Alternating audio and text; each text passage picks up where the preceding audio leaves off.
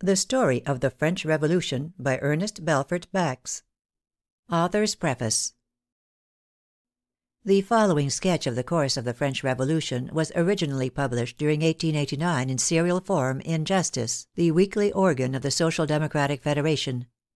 It has been revised, corrected, and in some parts added to for the present reissue. It need scarcely be said that it in no way pretends to be a complete history of the great political, social, and intellectual movement it describes. The present volume is designed primarily as a guide to those who, not having the time to study larger works on the subject, yet wish during these centennial years to have in a small compass a connected description of the main events of the French Revolution, more especially from the point of view of modern Socialism.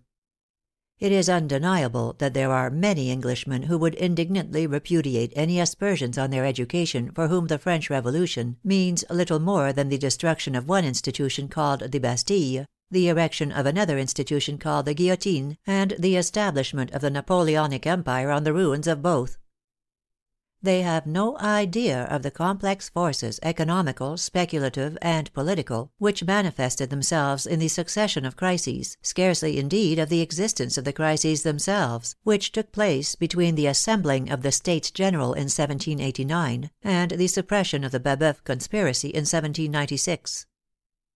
For such as these, and for many others to whom the above remarks will not altogether apply, a condensed statement of the facts of the French Revolution cannot but be desirable, and although there exist summaries galore, the writer ventures to think that the present little work differs from them in two respects: firstly, in the point of view from which the Revolution is viewed, and secondly, in the endeavor to throw the principal events into as strong relief as possible by the omission of all detail which is unessential to the understanding of them. Brevity has also been a distinct aim, and for this, as for the former reason, much that is in itself interesting has been left out. The foregoing especially applies to biographical details respecting the chief actors. These have been uniformly omitted throughout, as tending to expand the sketch indefinitely, and to draw off attention from its main purpose. The circumstances of the time and the events made the personalities what they were, and there is not one of them who, in so far as public life is concerned, can be regarded otherwise than as the embodiment of some more or less widespread contemporary tendency. The actors, therefore, merely cross the stage in connection with the principal events in which they played a role. Yet, though they may have suddenly become especially prominent, it must be understood that, in almost all cases, they were already familiar to the population of Paris, and in many cases of the whole of France, as club orators, parliamentary politicians, or as journalists. It is not too much to say that in the French Revolution journalism first became a power in the world's history. Those who seek further details both of the Revolution itself and of the life of its leading figures may be referred to the larger histories. The admirable history of Mr. Morse Stephen, now in progress, represents by far the best work that has been yet done in English, both as regards exhaustiveness and impartiality in connection with the subject. Mr. Stephen's excellent articles in the ninth edition of the Encyclopaedia Britannica may also be consulted with profit. The French literature of the subject would of course fill libraries. Works such as Bougeart's Marat, Avenel's and Anacharsis Clootz are monuments of industry and research. In spite of the efforts of French scholars, however, there is much room left for original investigation. The British Museum alone contains, I believe, upwards of 100,000 newspapers, pamphlets, manifestoes, and other documents, many of them as yet unarranged and uncatalogued. The amount of material in Paris, and in France generally, which has not yet been worked is probably incalculable. Offence has been given in some quarters at the view taken of Robespierre in the following pages.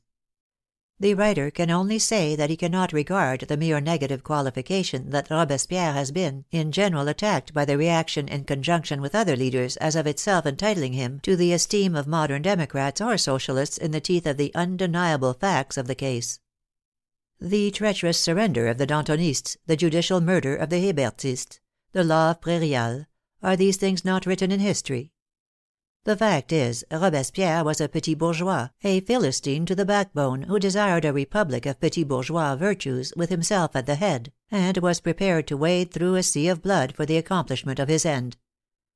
Napoleon had a truer sense of the case than other reactionists, when, as is reported, he was inclined to hail Robespierre as an unsuccessful predecessor in the work of " restoring order and saving society "— in the interest, of course, of the middle classes.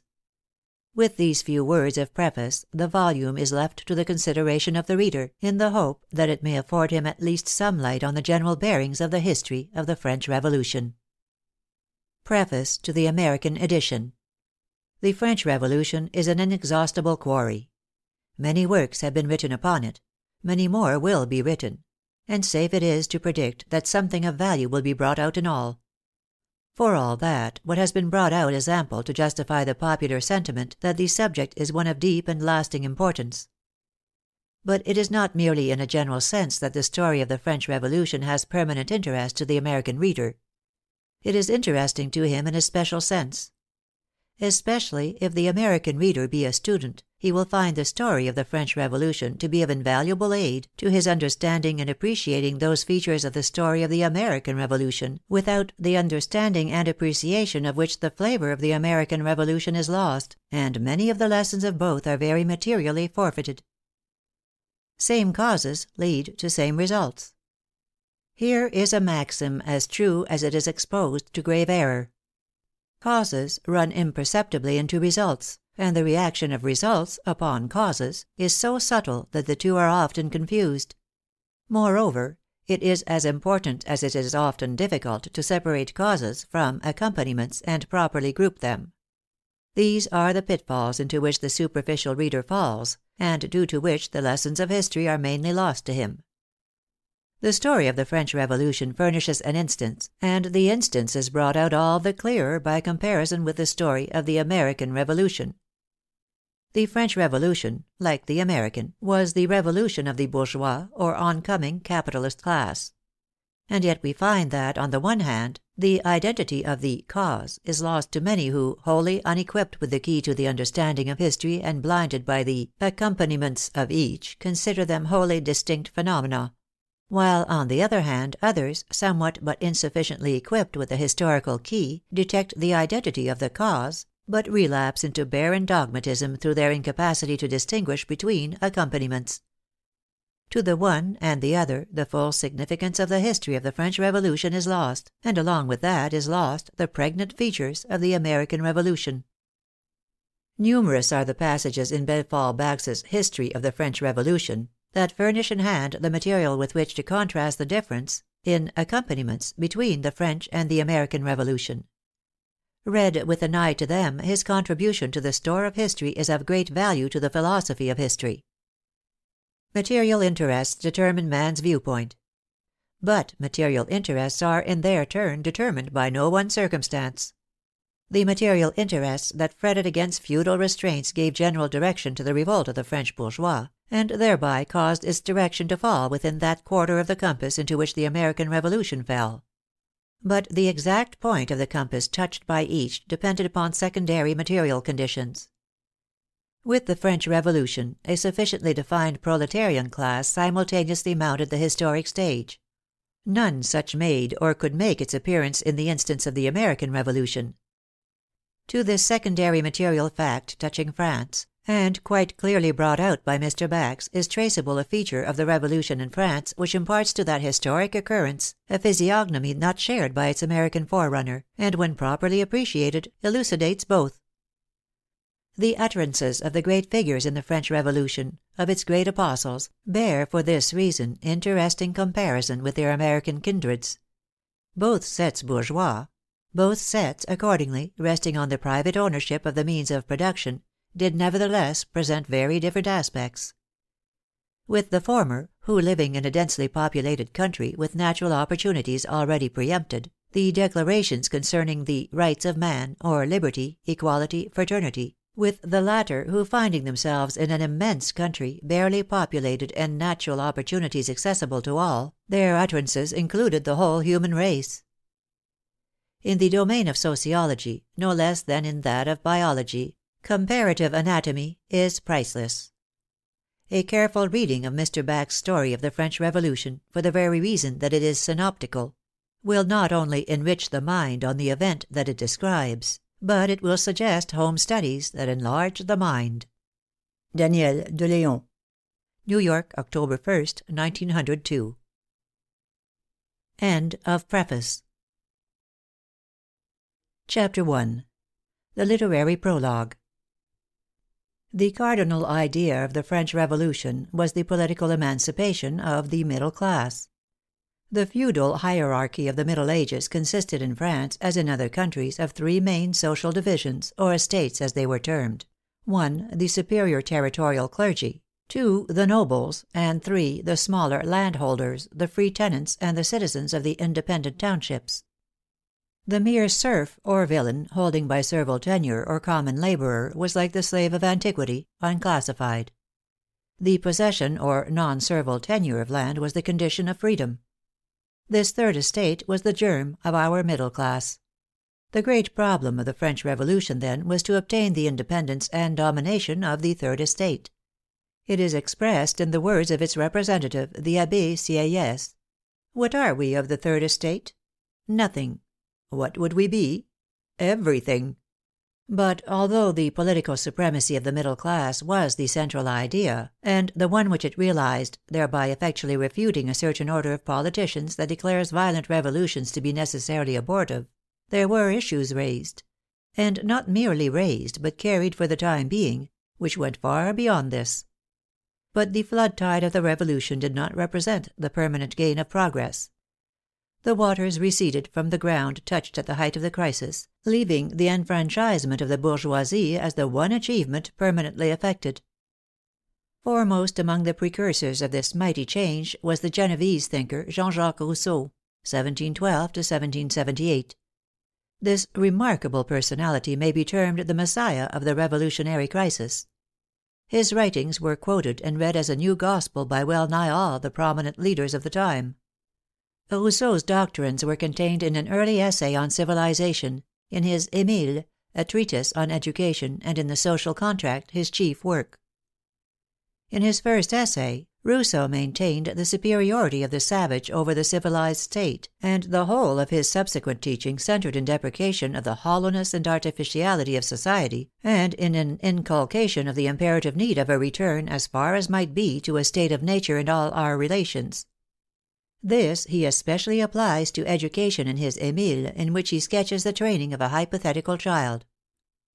The Social Contract, his greatest work, contains a discussion of the first principles of social and political order. It is to this work the magic formulas which served as watchwords during the Revolution formulas such as liberty, equality, and fraternity, divine right of insurrection, the term citizen, employed as a style of address, and many other things are traceable.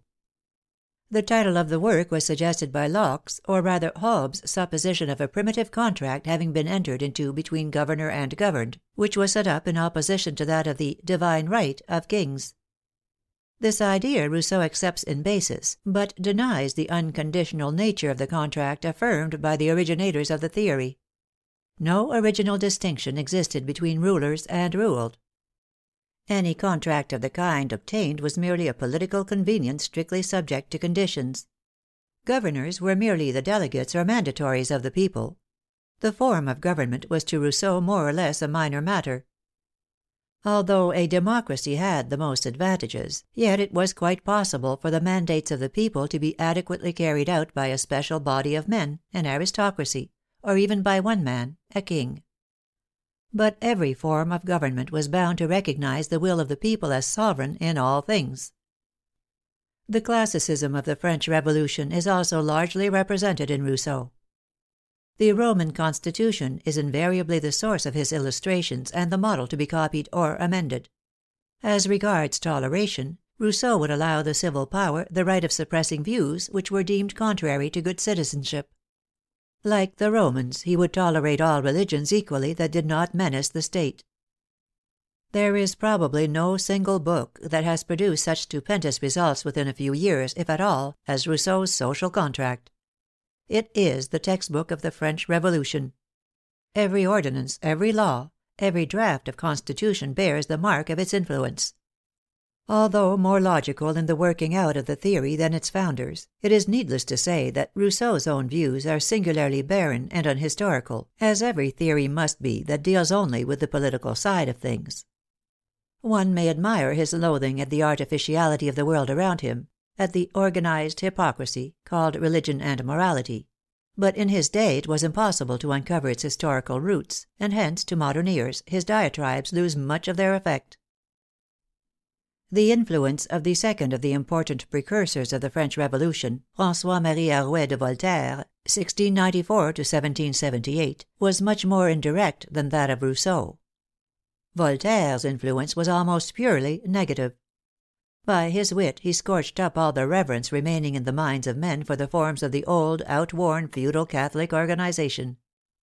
Though there was a great amount of adroit self seeking in Voltaire's character, it is as impossible to deny that there was also much that was genuine and truly noble in his indignation at cruelty and his detestation of Christian hypocrisy, as that it produced a far reaching effect on the events that followed. Voltaire, although personally a Frenchman of Frenchmen, breathes the spirit of a conscious cosmopolitanism and contempt for nationality in his writings, which for the first time in history became a popular creed during the Revolution, and was expressed in the famous Appeal of 1793. But in this, as in other respects, Voltaire was not alone. He partly created and partly reflected the prevalent tone of the French salon culture of the eighteenth century. This, if we cared to do so, we might trace back in its main features to the revival of learning — to the courts of the Medicis. And here it may be well to remind our readers, in passing, of the truth that individual genius merely means the special faculty of expressing that so called spirit of the age, to which that of preceding ages has led up, and that Voltaire and Rousseau merely achieved the results they did by reason of their capacity for reproducing in words the shapeless thoughts of millions. To this, in the case of Voltaire, must be added a special width of intellectual sympathy which took in an unusually large number of different subjects. Besides Rousseau and Voltaire, we must not omit to mention the brilliant group of contemporary workers and thinkers, headed by Diderot and D'Alembert, who built up that monument of laborious industry, the great French Encyclopaedia. Immense difficulties attended the publication of this important work, notwithstanding that care was taken to exclude any expressions of overt contempt or hostility towards current prejudices. Again, we must not forget the materialist atheists, central among whom was Baron d'Holbach, the anonymous author of the celebrated System of Nature, a book which, though crude according to modern notions, did good work in its day work which a treatise of more intrinsic philosophical value probably would not have achieved. It is noteworthy that most of the other prominent names among the pre Revolutionary writers, including Rousseau and Voltaire, are those of ardent deists.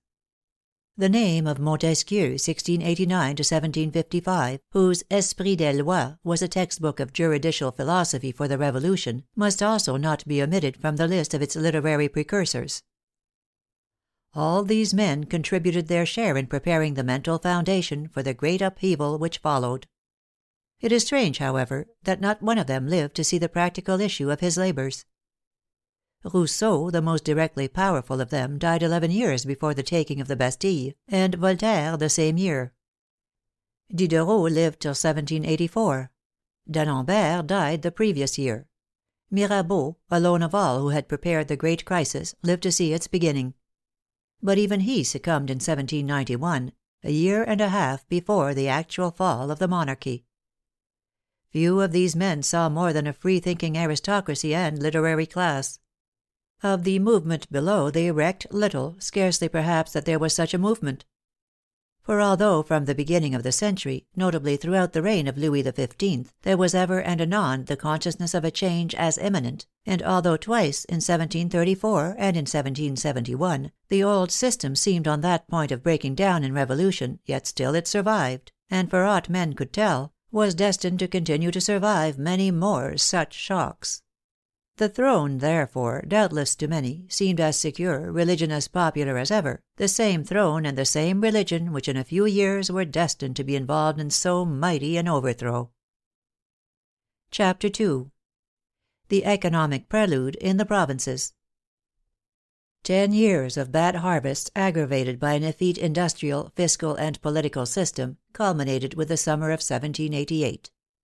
A great drought was succeeded by a violent hailstorm which dealt destruction all round. The harvest was worse than ever before.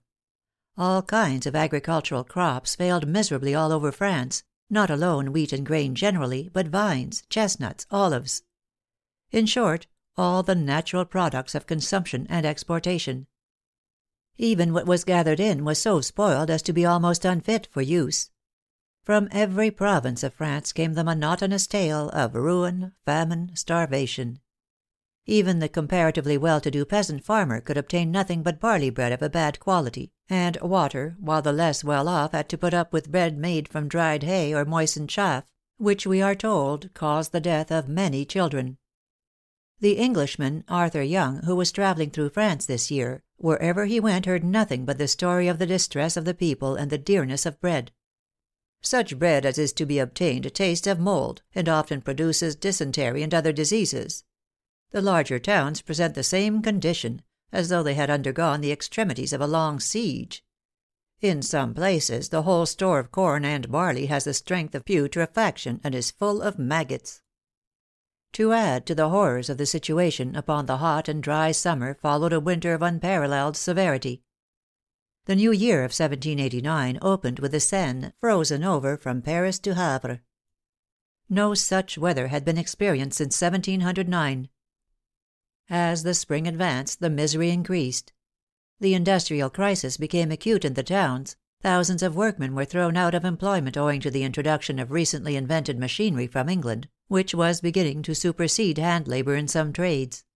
The riots and local disturbances which had for many years past been taking place sporadically in various districts, now became daily more frequent, so much so that from March onwards the whole peasantry of France may be said to have been in a state of open insurrection, three hundred separate risings in the provinces being counted for the four months preceding the taking of the Bastille. In 1787, the minister Loménie de Brienne had created nineteen new provincial assemblies. Below the arrondissement or district assembly, which had been instituted some years before, now came the assembly of the parish. In each of these primary assemblies of the parish, the arrondissement, and even of the province, the people, farmers, etc., sat side by side with the local dignitaries, a fact which, as may be imagined, considerably tended to obliterate the ancient feudal awe. In November, 1787, the King announced his intention of convoking the States General. On the 5th of July, 1788, the various local bodies were called upon to draw up cahiers, or statements of their grievances, for presentment before the King and States General, in which a double representation of the Third Estate was conceded. These cahiers form a mass of the most interesting material illustrative of the condition of France just before the Revolution, and have not even yet been fully investigated. The King, said the proclamation, desires that from the extremities of his kingdom, and the least known of its habitations, each may feel assurance in bringing before him his views and grievances, and this and other similar expressions were interpreted by the peasantry in the natural sense that the King was really desirous of rescuing them from starvation. It accordingly emboldened them to take the matter into their own hands. In January the cahiers were drawn up, which meant that the people had now for the first time formulated their ills. Discussion in the assemblies had excited them. The States General was going to look to their wrongs, it was true, but the States General did not meet till May, and meanwhile they were starving. One thing was clear, they must have bread.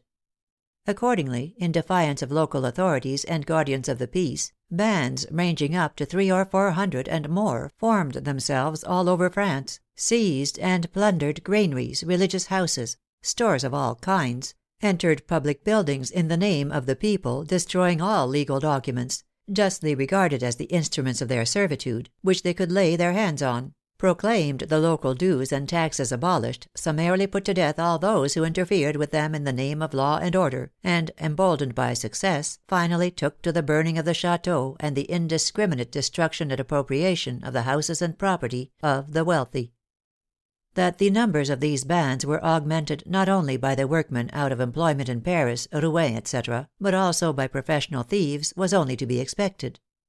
The local authorities were hopelessly inadequate to cope with the insurgents, and central authority in Paris seemed paralyzed.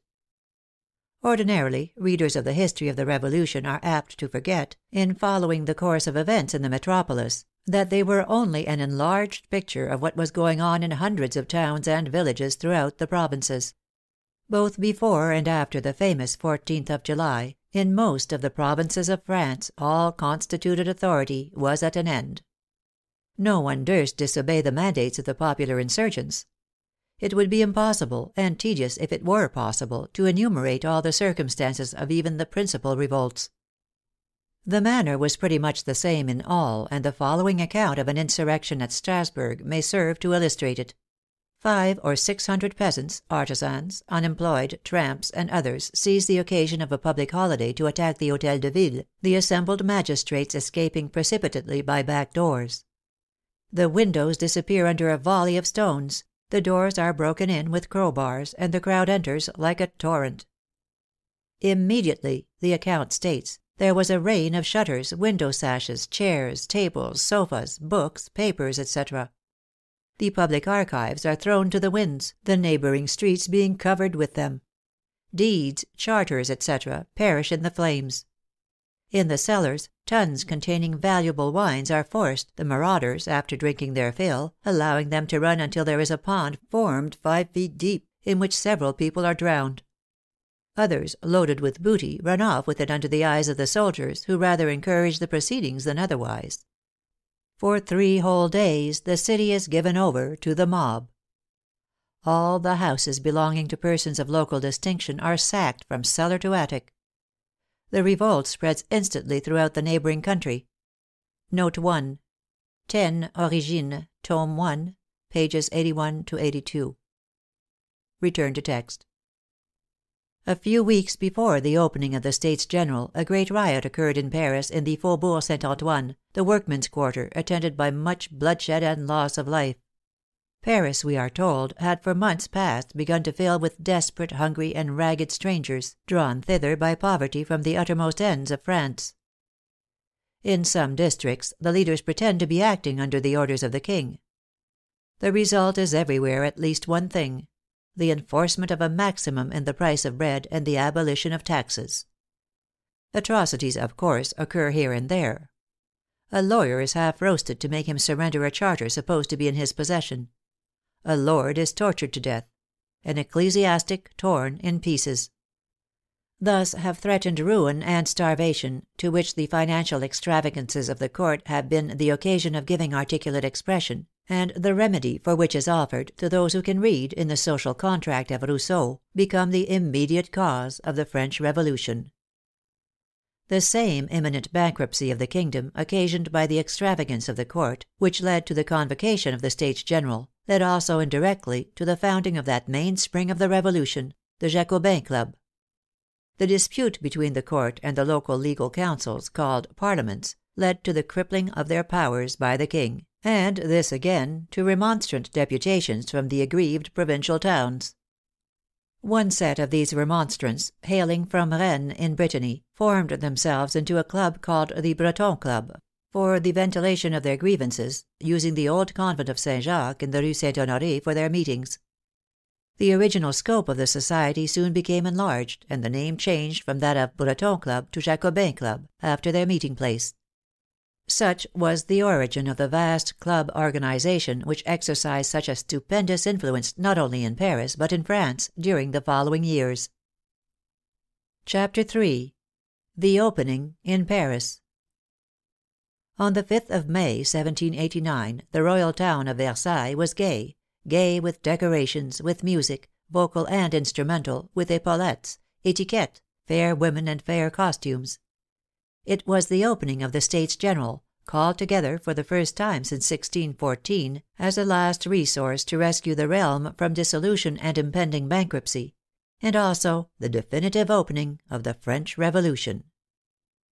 At midday might have been seen the feudal procession entering the church of St. Louis. After the king and royal family, the clergy occupied the first place, the superior clergy, attired in purple robe and lawn sleeves the less superior in cassock, cloak, and square bonnet. Next came the nobles, habited in black with silver faced vest, lace cravat, and plumed hat; while bringing up the rear followed the humble tiers etat — the representatives of the middle class, the merchants, the farmers, and the small landowners, dressed also in black, but adorned with merely a short cloak and plain hat. With this memorable procession the Constitution of the Middle Ages, moribund for over two centuries, spasmodically gasped its last breath. The business of the States General did not pass off as gaily as the opening ceremony. Conflict between the orders followed immediately on points of procedure, with the result that the Third Estate constituted itself the National Assembly of France, refusing to admit the other orders to its deliberations except on a basis of equality. The King manifested his displeasure by closing the door of the hall of the States against them. The Assembly answered by the celebrated oath it took outside in the Tennis Court of Versailles, 20th June, by which it pledged itself not to separate until it had given France a Constitution. The Assembly triumphed over the Court two days after its oath, inasmuch as it regained possession of its hall, openly defied the King in person, abolished the independence of the clergy and noblesse, formally confirmed its decrees of the previous day which the King had quashed, and proceeded with its deliberations. Thus the curtain rose on the first act of the revolutionary drama. Meanwhile the new popular ferment, occasioned by the events at Versailles, had taken complete possession of the capital, and was rapidly spreading into the provinces. Some weeks later, early in July, Necker, the Minister of Finance beloved by the middle class, was dismissed from office. Necker, it should be observed, was one of the less bad of the scoundrels, called finance ministers, who have been malversating the national funds in succession for years past.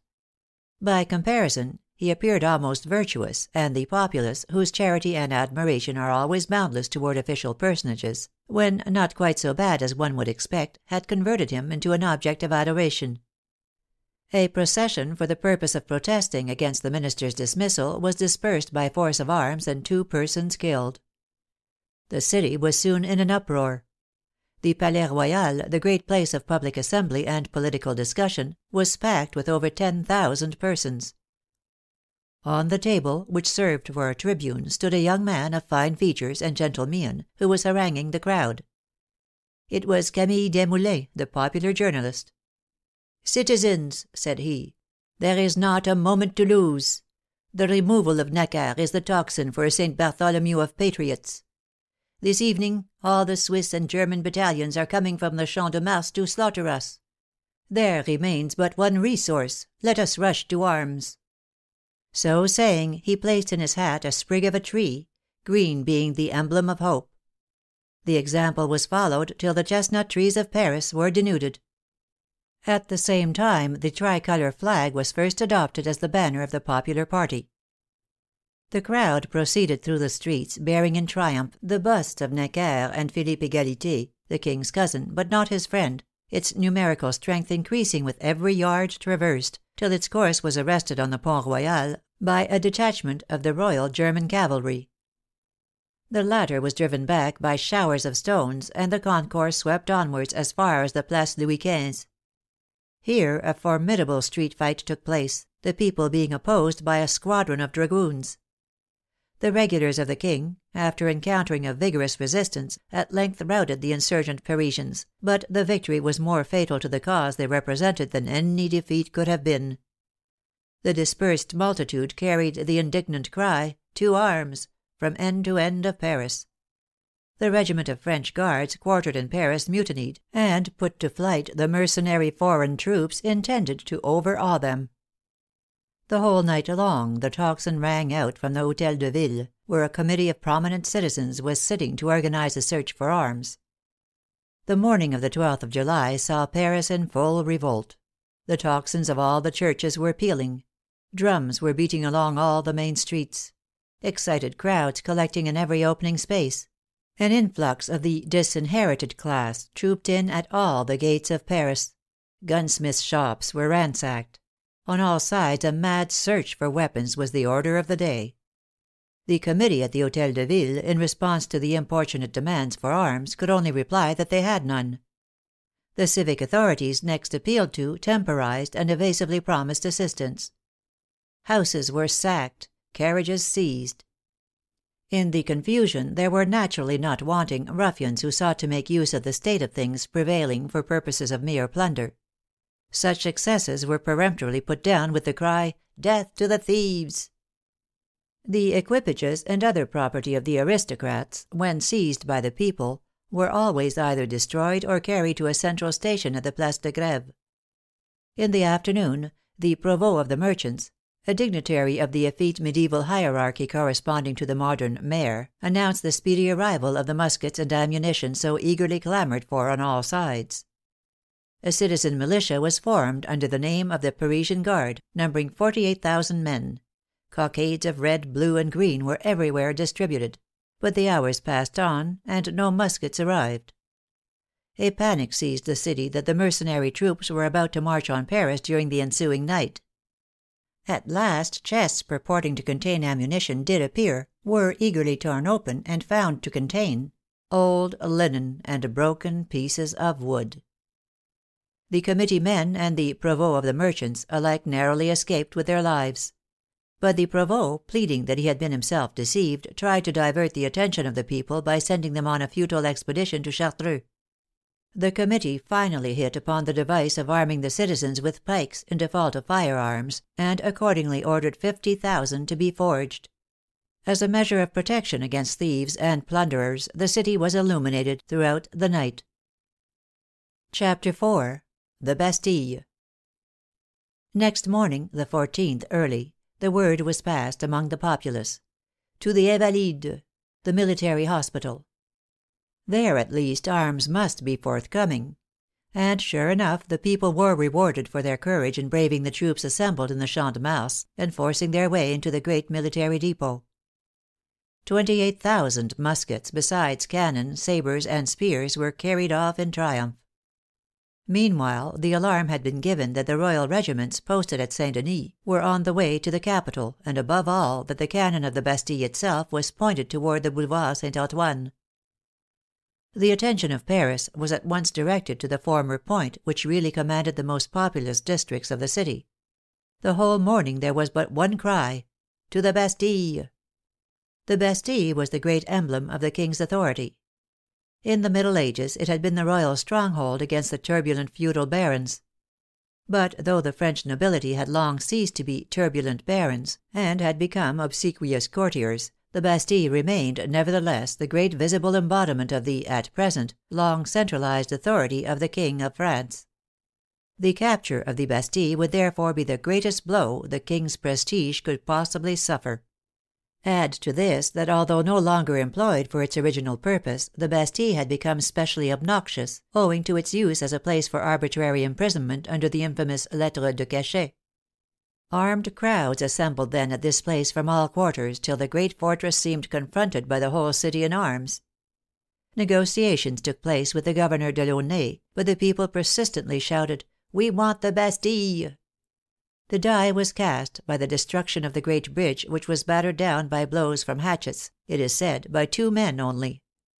The concourse poured in; the second drawbridge was attacked and vigorously defended by the small garrison. Numbers of the assailants fell, killed and wounded. The siege continued over four hours, when the French Guard, who, as we have seen, had already sided with the Revolution, arrived with cannon. The garrison, seeing the case hopeless, themselves urged the governor to surrender. But old Delaunay preferred blowing the place up and burying himself amidst the ruins. His companions alone prevented him from carrying out this design. The soldiers thereupon surrendered on condition that their lives should be spared. The leaders of the people who were in the forefront, and had given their word to this effect, did their utmost to protect the garrison from the indignation of the crowd. But among the thousands that thronged in there were probably few who knew anything of what had taken place. As a consequence, Delaunay and some of the Swiss garrison fell victims to the popular fury. Meanwhile the Hotel de Ville was in trepidation. Above all, the provost of the merchants, Flesselles trembled lest he should be made to suffer for his treachery. These fears were not allayed when shouts of " Victory !"" Liberty !" issuing from thousands of throats assailed the ears of the inmates, and grew louder minute by minute. It was the conquerors of the Bastille carrying their heroes in triumph to the municipal headquarters. Presently there entered the great hall an enthusiastic but disorderly, ragged, and blood stained crowd, promiscuously armed with pikes, muskets, hatchets, and well nigh every other conceivable weapon. Above the heads of the crowd one held the keys of the Bastille, another the regulations of the prison, a third the collar of the governor. A general amnesty for all the defenders captured was agreed to after much opposition. But the provost of the merchants did not get off so easily. On the corpse of Delaunay a letter had been found in which Flesselles had stated that he was amusing the Parisians with cockades and promises, and that if the fortress could only hold out till nightfall relief should come. A court was to have been improvised in the Palais Royal to judge him, but on the way thither he was laid dead by a pistol shot from one of the crowd. The excitement of the day's action over, precautions to avert designs against the capital on the part of the court were redoubled. Everywhere barricades were raised, paving stones torn up, pikes forged. The whole population was all night long at work in the streets. How well grounded were the fears of the Parisians would have been evident to any one behind the scenes at Versailles, where Breteuil, the Prime Minister, had just promised the King to restore the royal authority in three days, this very night having been fixed for the expedition, and wine and presents distributed among the royal troops in anticipation. The Assembly, which was sitting en permanence, was about to send one more deputation to the King it had already sent two when he appeared in person in its midst. On being informed during the night of the events that had taken place, by the Grand Master of the Wardrobe, he exclaimed, "It is a revolt!" "No, sire," replied the Grand Master, "it is a revolution." On the King's subsequent protestations of affection for his subjects, and his statement that he had just been given orders for the withdrawal of the foreign troops from Paris and Versailles, that he confided his person to the representatives of the nation alone, etc., the Assembly gave way to transports of joy, rose en masse, and escorted him to the palace. The news spread rapidly. A revulsion of feeling took place all round, from terror to elation, from hatred to gratitude. The general jubilation was increased by the restoration of Necker, the entry of Louis XVI into Paris, and his acceptance of the tricolor cockade. Thus ended the preparatory period of the Revolution. It is needless to say the moral effect of the popular victory throughout France was immense, every town becoming henceforth a revolutionary center in the sense of possessing a definite revolutionary organization. There are one or two useful hints to be learned from this old and oft repeated story of the fall of the Bastille. The first is of the eminent utility of popular force, if only applied at the right moment. Beforehand, it would have seemed preposterous that an undisciplined mob could take a fortress and paralyze the efforts of a reaction possessed of a trained army. Yet so it was. Another point to note is the untrustworthiness of men who belong to the class which makes the Revolution, and who even profess to represent it when their personal interest and position are bound up with the maintenance of the existing order. Flesselles, a man of the Third Estate, its leading dignitary in the city of Paris, was yet the man who was the least anxious to see the feudal hierarchy overthrown. And why? Because he played a part in it. The Third Estate had been incorporated into the medieval system. He was its representative as one of the feudal orders. Its position was subordinate indeed, but, now that it was growing in importance, its leading men had much more to gain by clinging to the skirts of the noblesse, and aiding them in frustrating that complete revolution which the rank and file of the class were seeking, than in assisting the accomplishment of this revolution, which could only mean the effacement of their own personal position. History repeats itself. Trade unions have won for themselves recognition and patronage in the middle class world to day. Their leaders, in a similar way, do not exhibit any special desire for a change which, though it would mean the liberation and triumph of the class they represent, would, at the same time, render trade unions a thing of the past, no less than the lord mayors and cabinet ministers who stroke the backs of the parliamentary elect of trades unions. No, verily, this is not a nice prospect for the trade union leaders. End of chapters 1 through 4. Chapter 5 The Constitution Mongers The Constitution was now in full train. The Revolution up to the latter point was officially recognized. There was no harking back for any one. Foulon and Berthier, two administrators of the first rank under the old regime, had been publicly hanged a la lanterne and quartered by the people. The first stratum of revolutionists was to the fore. Mirabeau, Lafayette, and Bailly are the central figures of the Constituent Assembly. Duport, Barnave, and Lameth its extreme men. The Comte de Mirabeau (1749 1791), one of the pre revolutionary writers, was the leader of the moderate party in the Assembly. His stupendous powers of oratory made him a useful ally and a dangerous foe. This the Court was not slow in discovering, and accordingly Mirabeau was soon won over by bribes to do his best to frustrate every popular measure in the Assembly, while all the time professing devotion to the cause of liberty and the people. When this failed, the popular orator did not disdain to resort to actual plotting. The Marquis de Lafayette (1757 1834), of American independence notoriety, another member of the noblesse, who had adopted previously to the Revolution the quasi advanced views then fashionable with his class, was the military representative of the moderate party in his capacity of Commandant of the National Guard, besides the henchman of Mirabeau in the Assembly. Bailly (1736 1793), who was elected mayor of Paris the day after the taking of the Bastille, also coadjuted in the work of moderating the Revolution alike in his official capacity and in the Assembly. As to the extreme men, they really represented but the most moderate form of constitutional monarchy. The situation of parties may be estimated by the fact that Barnave advocated a suspensory veto on the part of the King, while Mirabeau strenuously supported the absolute veto. And be it remembered at such a time, the right of vetoing obnoxious measures would have been no mere matter of form. It appears, then, that even the most advanced parliamentarians of the day were not prepared to go beyond the present Prussian Constitution. Nevertheless, circumstances early forced upon this timid and comparatively reactionary Assembly some drastic political measures, first and foremost on the memorable night of the 4th of August the abolition of all seignorial rights and privileges. At a later stage, after the Assembly had removed to Paris, a little judicious coercion from the tribunes, or people's galleries, which were tenanted by advanced revolutionists, there is no doubt exercised a salutary influence on several occasions. The members knew well enough that their lives were in the hands of the Paris populace, and those of their wives and children, besides their property, at the mercy of the populace of the rural districts. The Assembly's first important performance after the fall of the Bastille was the Declaration of the Rights of Man, in imitation of the Americans after the successful termination of the War of Independence. The Declaration of the Rights of Man contains a series of articles laying down the principles of political equality. Most of them are unexceptionable and even trite, but it is significant that number 17 affirms categorically the absolute sacredness of private property. The question which arose immediately subsequent to this on the constitution of the Chamber and its relations to the King need not detain us.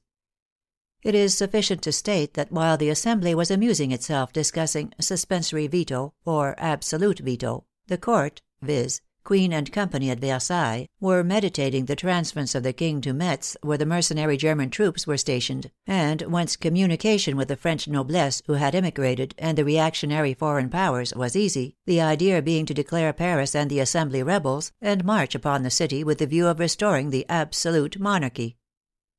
These machinations at Versailles are interesting as having given the direction to the first great demonstration of the proletariat of Paris during the Revolution.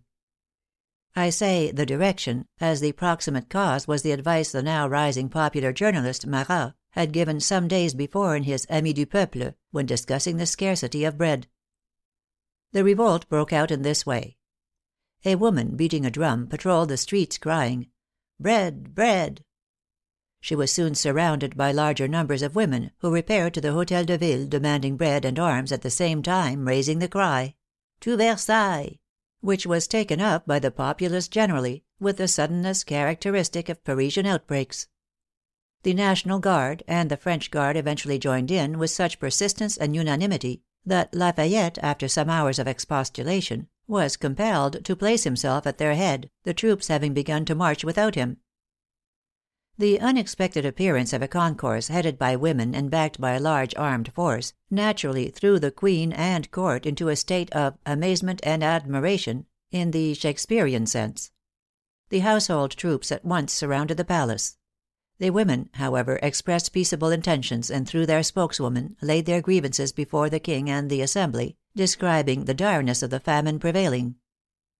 Meanwhile, in the courtyard of the palace, which was filled with a motley crowd, a quarrel arose, an officer of the King's troops having struck a National Guard. This was the signal for an immediate conflict between the two armed bodies. The people and the Nationals were furious, and the collision must have resulted in more bloodshed than it did, had it not been for the darkness of the night, and the prudent order given the royal soldiers to cease from firing and to retreat. The disturbance was eventually quelled, the crowds melting away gradually as the night advanced. The royal family retired to rest at two o'clock. Lafayette, who had remained up all night, in vain endeavored to snatch repose for an hour after five A. M. Before six, some members of the previous evening's crowd who had remained at Versailles, insulted one of the body guard, who drew upon them, wounding one of their number.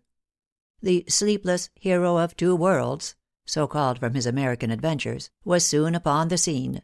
He found considerable remnants of yesterday's gathering furiously forcing their way into the palace. The assailants were temporarily dispersed, but soon reassembled, clamoring for the King. The King eventually appeared upon the balcony, promising in reply to the popular demands that he would go to Paris with his family. The Queen, the head and front of all the recent offending, next stepped on the balcony in the company of the arch courtier, Lafayette, who with a profound obeisance kissed the hand of the woman who had been plotting the massacre of that very people, for whom this hypocritical charlatan had been all along professing zeal and devotion. But the humiliation of the Parisians was not yet ended. Lafayette, retiring, reappeared with one of the obnoxious body guard, and placing the tricolor cockade upon his breast, embraced him. At each of these points the assembled crowd duly cheered. The royal family then set out for Paris, and the Tuileries became henceforth their permanent residence. CHAPTER VI THE NEW CONSTITUTION After the events we have just described, which occurred on the 5th and 6th of October, 1789, the course of the Revolution was for some considerable time peaceful and parliamentary. The Assembly, till then at Versailles, soon followed the Court to Paris. Its migration seemed the signal for a vigorous application of the pickaxe to the old feudal system by this hitherto moderate body. The chief bulwark attacked was the property and independent organization of the Church. Prior to this, however, the Assembly had reconstituted the map of France, by abolishing the old division into provinces, substituting for it the present one into departments. The provinces had in the Middle Ages formed de facto independent states. The division into departments placed the whole realm under one central administration, and included the entire reorganization of the judicial system. There were eighty three departments formed, which were divided into districts, and these into cantons. The department had its administrative council and executive directory, as had also the district; the canton was merely an electoral subdivision. The commune, or township, was confided to a general council and a municipality, which were subordinated to the departmental council. All elections were indirect, and the whole scheme in this respect seemed carefully arranged to exclude, as far as possible, the working classes and peasantry from any effective voice in legislation. The nationalization of the Church lands and property generally was precipitated by the old trouble, the exhausted state of the treasury. Necker had devised every conceivable plan for raising the wind and failed, when the last named project was suggested as a means of at least temporarily satisfying the exigencies of the situation. It would be tiresome in a sketch like the present to describe in detail the stages by which the Assembly arrived at the final result. The issue of its deliberations, to wit, the decree expropriating the Church, was carried on the 2nd of December, and thenceforth the churchmen as a body became the determined enemies of the new regime. At first the clergy seemed more inclined than the noblesse to compromise matters, in the hope of retaining their wealth, but now that the die was cast they were implacable. The difficulties attending the sale of the ecclesiastical property, however, were too great to admit of its realization in time for the pressing needs of the exchequer, hence the issue of assignats, or notes having a forced currency based on the value of the expropriated lands. This, which meant the adoption of a system of paper money on a vast scale, staved off the imminent financial ruin. All these measures were very interesting, and showed a laudable activity on the part of the body politic; but they did not affect the crowds to be seen daily at the bakers' shops, ever and anon breaking out into tumult. The working classes of Paris had gone to Versailles demanding simply bread, and Lafayette had given them — the royal family. Any further grumbling was obviously to be suppressed with drastic measures. Accordingly martial law was proclaimed, and the municipality empowered to forcibly disperse any assembly of people having once summoned them to retire. Lafayette was there to put this regulation into effect at the first opportunity. But it did not come yet. The clubs were now beginning to play a leading part in influencing public opinion. The principal were those of the Jacobins and the Cordeliers. A third club was instituted subsequently by Lafayette, called the Feuillants, and representing constitutional principles.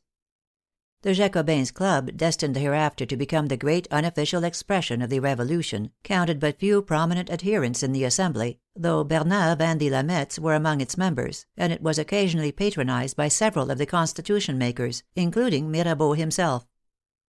One cadaverous figure, also a deputy, was always at the Jacobins, his dress and speeches alike carefully prepared, by name Maximilien Robespierre, by profession advocate, a native of Arras. The club of the Cordeliers was composed of an advanced section of the Jacobins. Among its constant attendants might have been seen the stalwart yeoman Danton, and the short, thick set, sharp featured journalist Marat. But neither the clubs nor their rising orators at this time exercised more than an indirect influence on the course of events, though they energetically debated every question as it arose. Meanwhile, in spite of the occasional disturbances, and panics as to the King plotting his flight, affairs moved along with comparative smoothness towards the completion of the Constitution, the consummation of the middle class political order. Preparations for celebrating the anniversary of the fall of the Bastille with due solemnity went on apace. A national confederation was to be held in the Champ de Mars on this occasion, in honor of the Constitution, the advanced members of the noblesse, not to be behind in patriotism, proposed in view of the national fete the abolition of titles, armorial bearings, and the feudal insignia generally. The proposition was enthusiastically carried by the Assembly. Its result was naturally to rouse the keenest indignation among the nobles outside, and to give further edge to the organized movement of the aristocratic emigration. On the 14th of July, 1790, the population of Paris, notwithstanding bad weather, were to be seen streaming from all sides in holiday attire amid a blaze of tricolor, banners, hangings, cockades, to the Champ de Mars, where a gigantic altar had been erected in the center of a vast artificial amphitheater. The royal family, the Assembly, and the municipality were grouped around this altar, before which the then popular Bishop of Autun, Talleyrand, subsequently the famous diplomatist and wit, performed mass in high pontifical robes, assisted by four hundred clergy in white surplices. Lafayette first ascended the altar, and in the name of the National Guards of the whole realm took the civic oath of fidelity to the nation, the law, and the King. This was followed by a salvos of artillery and prolonged shouts of Vive la nation! Vive le roi! The President of the Assembly and all the deputies, the department councils, etc., next took the same oath. But the grand item of the day's program was reached when Louis XVI himself rose to swear, as King of France, to maintain the Constitution decreed by the Assembly. This part of the performance terminated, as usual on great occasions, with the appearance of the Queen holding the Dauphin up aloft to the homage and admiration of the assembled multitude, who responded in one long and continuous acclamation. Chants of thanksgiving and exultant jubilation generally closed the day's proceedings. Such was the inauguration of the first French Constitution. But despite the new and glorious liberty, crowds of hungry Parisians continued to be daily turned away from the bakers' shops. CHAPTER VII A Constitution on its beam ends. All state functionaries, military, civic, and ecclesiastical, were now compelled to take the oath of allegiance to the new order of things. This led to a revolt on the part of the majority of the nobles and ecclesiastics, whose indignation was already roused to boiling point by the loss respectively of their privileges and revenues. Numbers of aristocratic officers left the army and the country to join their brethren across the frontier. Others, such as Bouille, gave in with the view of gaining over the army for the counter revolution. The regular army at this time was almost entirely officered by aristocrats, a fact which gave rise to numerous revolts. A mutiny of three regiments at Nancy was only quelled after much bloodshed by Bouille. Most of the clergy refused either to take the oath of allegiance or to leave their benefices except by force, being backed up in this by the enormous majority of the bishops with the Pope at their head. The new constitution, in subordinating the ecclesiastical to the civil power, was declared to involve an encroachment on ecclesiastical privilege, the Pope refusing to consecrate bishops in place of those deposed for non compliance, and proclaiming the creation of all ecclesiastics nominated according to civil forms to be null and void. The ejection of non-conforming priests continued, notwithstanding their successors being instituted by the bishops of Autun and Lydda, who had unreservedly accepted the Constitution. The opposite party retaliated by excommunicating all who acknowledged the intruders, as they termed them. Thus began civil war between the Revolution and the Church. The clergy themselves prepared the soil of the popular mind for the reception and germination of the teachings of the pre revolutionary writers, which, until now, had been chiefly confined to the leisured and cultivated classes, by forcing it to the logical dilemma of friendship with the Revolution and enmity with Christianity, or friendship with Christianity and enmity with the Revolution. As regards the immigrant aristocrats, their object was to foment the hatred of the foreign powers against the Revolution, and to cement a coalition to effect its forcible overthrow by the invasion of the country. For well nigh three years these intrigues with the " foreigners " were going on with the connivance of the court, until the fall of the monarchy precipitated " war to the knife " with the powers in the shape of the campaign known as the Revolutionary War. To understand the position of affairs it is necessary to remember that since the collapse of feudalism as a living political order, with its quarrels between the titular king and his more or less nominally vassal barons, power had been concentrated more and more in royal hands, while nationalities had become definitely fixed. The result was that the mainly internal politics of the feudal period had from the sixteenth century onwards been giving place to external politics, in which the sovereigns of Europe, having ceased to fear the rivalry of nobles within their jurisdiction, discovered causes of quarrel with their brother sovereigns without usually in the hope of gaining territory. The French Revolution marks the opening, for the Continent at least, of the modern period of the struggle of sovereigns, not with their nobles or with each other, but with peoples, that is, with the middle class, backed by the proletariat. This struggle began in England more than a hundred years earlier than on the Continent, but practically subsided again with the Revolution of 1689. The three principal European powers were at this time England, France, and Austria. Prussia was still a rising monarchy, and the great Muscovite Empire loomed in the background. The petty German princelets might be reckoned upon to side with one or other of the greater powers according to circumstances. The death of Mirabeau in April, 1791, having removed all hope of making a successful stroke on behalf of royalism in the Assembly, the court turned its attention to military plotting with increased energy. On the other hand, the King felt some misgivings at being re established exclusively by the aid of foreign bayonets, more especially as his cousin the Comte d'Artois was the leader in the movement, and if it were successful might possibly obtain more than his due share of influence in the resuscitated realm. These considerations led the court to turn a favorable ear to General Bouille, whose plan was to conquer the Revolution by means of the troops already at hand in the service of the King. The army was to be moved to the frontier, the royal family were then to escape into its midst, after which war was to be declared against the Assembly, and the troops to march on the capital. This arrangement was effected up to the point of the King's flight on the 21st of June, 1791, almost without a hitch. Bouille, with his army, was ready and waiting for the royal party, when poor Louis was accidentally recognized at Varennes, and brought back a prisoner to Paris. The indignation of the populace knew no bounds the royal cortege re entered Paris in the midst of sullen and angry crowds. For the first time serious talk of a republic was heard.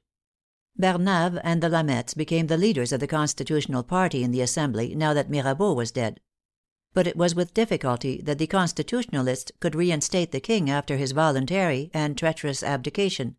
They were only successful in their efforts after having thrown as a sop to Cerberus the condition that if he retracted his oath to the Constitution, if he should place himself at the head of an army, or permit others to do so, he should lose his inviolability and be considered and treated as an ordinary citizen.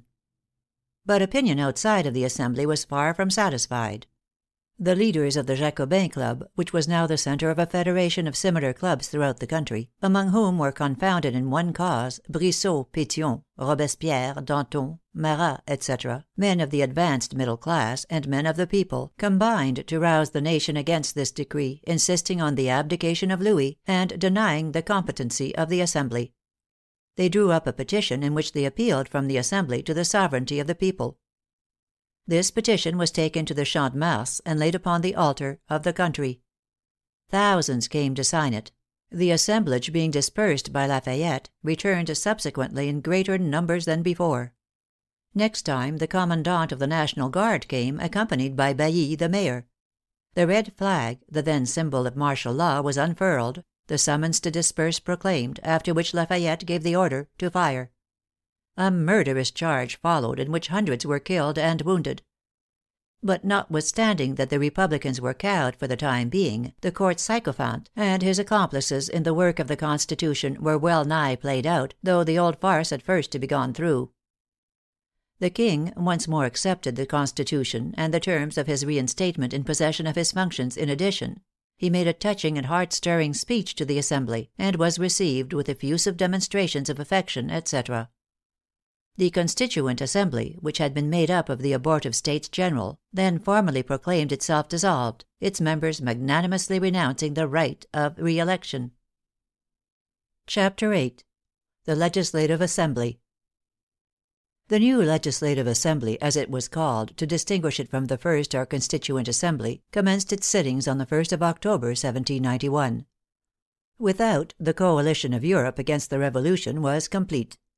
England was united with Prussia and Austria, while the petty German states eagerly joined in their conspiracy to suppress the French nation. The famous Treaty of Pilnitz was the expression of the determination and temper of the powers, great and small. Within, the fabric of the constitutional monarchy was standing indeed, but, as Carlyle expresses it, like an inverted pyramid which may topple over any moment. Friction began at once between the King and Assembly on questions of reciprocal etiquette, but the speech from the throne was well received. The dominant party in this Assembly was that of the Girondists, or party of compromise, of which more anon, the buffer, so to speak, between the Constitutionalists proper, now in the minority, and the popular and avowedly Republican party, whose leaders in the clubs, Robespierre, Danton, Marat, etc., were gaining in influence every day. Almost the first act of the new Assembly was the issue of a decree ordering the emigrants to return on penalty of death and confiscation of goods. This order the King peremptorily vetoed. The same fate befell another order of the Assembly, by which refractory priests should lose their pay and be placed under surveillance. His action in these matters, in view of the imminent invasion of the foreign powers and the peasant revolt in the Vendee in favor of royalism, which was led by the clergy, were fatal to him and to the Constitutionalists who supported him. The Constitutional Ministry fell, and a Girondin Ministry was appointed in its place, with Roland, one of the principal Girondin leaders and the husband of the celebrated Madame Roland, as Minister of the Interior, and Dumouriez as Minister of Foreign Affairs. The first act of the new Ministry was to take the bull by the horns, and to declare war with Austria, a measure popular on various sides for different reasons, and approved of by the court in the hope of the defeat of the French forces and the invasion of the country. This declaration of war was made on the 20th of April, 1792. Three columns proceeded to the frontier, but the projected action on the offensive was a fiasco — a panic seizing the troops on the approach of the enemy. Thenceforward the French assumed the defensive. Such was the beginning of the Revolutionary War. The news of the disaster led to bitter recriminations on the part of the popular party against the Girondins. The Girondins in their turn threw the blame on the Constitutionalists and their commanders, Lafayette, Dillon, etc., while the generals themselves threw it on Dumouriez. The Jacobins openly accused the moderate parties of treachery and connivance with the government. Suspicion and distrust were universal. It was now that Marat issued his memorable placards, calling for the heads of traitors. Meanwhile, to appease the people, the Ministry instituted a permanent camp of 20,000 men in the neighborhood of Paris, in spite of the vehement opposition of the Constitutionalists, and agreed to the introduction into the new National Guard of promiscuously selected companies armed with pikes — the weapons which had played such a prominent part at an earlier stage of the Revolution. The Assembly, which declared itself sitting in permanence, added to these resolutions one ordering the abolition of the King's body guard. This last decree Louis at once refused to ratify, and on being remonstrated with by Roland, dismissed all the Girondin ministers, and appointed obscure members of the Constitutionalist party in their stead. At the same time he sent a secret messenger to negotiate with the foreign coalition — for his deliverance. The Girondins, finding themselves thus left out in the cold, joined the Jacobins, who were now the advanced guard of the Revolution, and whose organization was rapidly becoming a rival to the Assembly, and by this means were able to pose as martyrs in the cause of liberty. The only hope of the party actually in power — i.e., the now discredited Constitutionalists — lay in Lafayette's army. Lafayette, seeing the situation, played out his last card, and published a manifesto, openly defying and threatening the Jacobins. The Jacobins' reply to this was the insurrection of the 20th of June, 1792, when a concourse numbering some 8,000 people left the Faubourg St. Antoine for the hall of the Assembly. The orator who represented the crowd spoke in menacing terms, saying that the people were ready to employ all their powers in resistance to oppression. He proceeded to state that grave complaint was found with the conduct of the war, into which the people demanded an immediate investigation, but the heaviest grievance of all was the dismissal of the patriot ministers.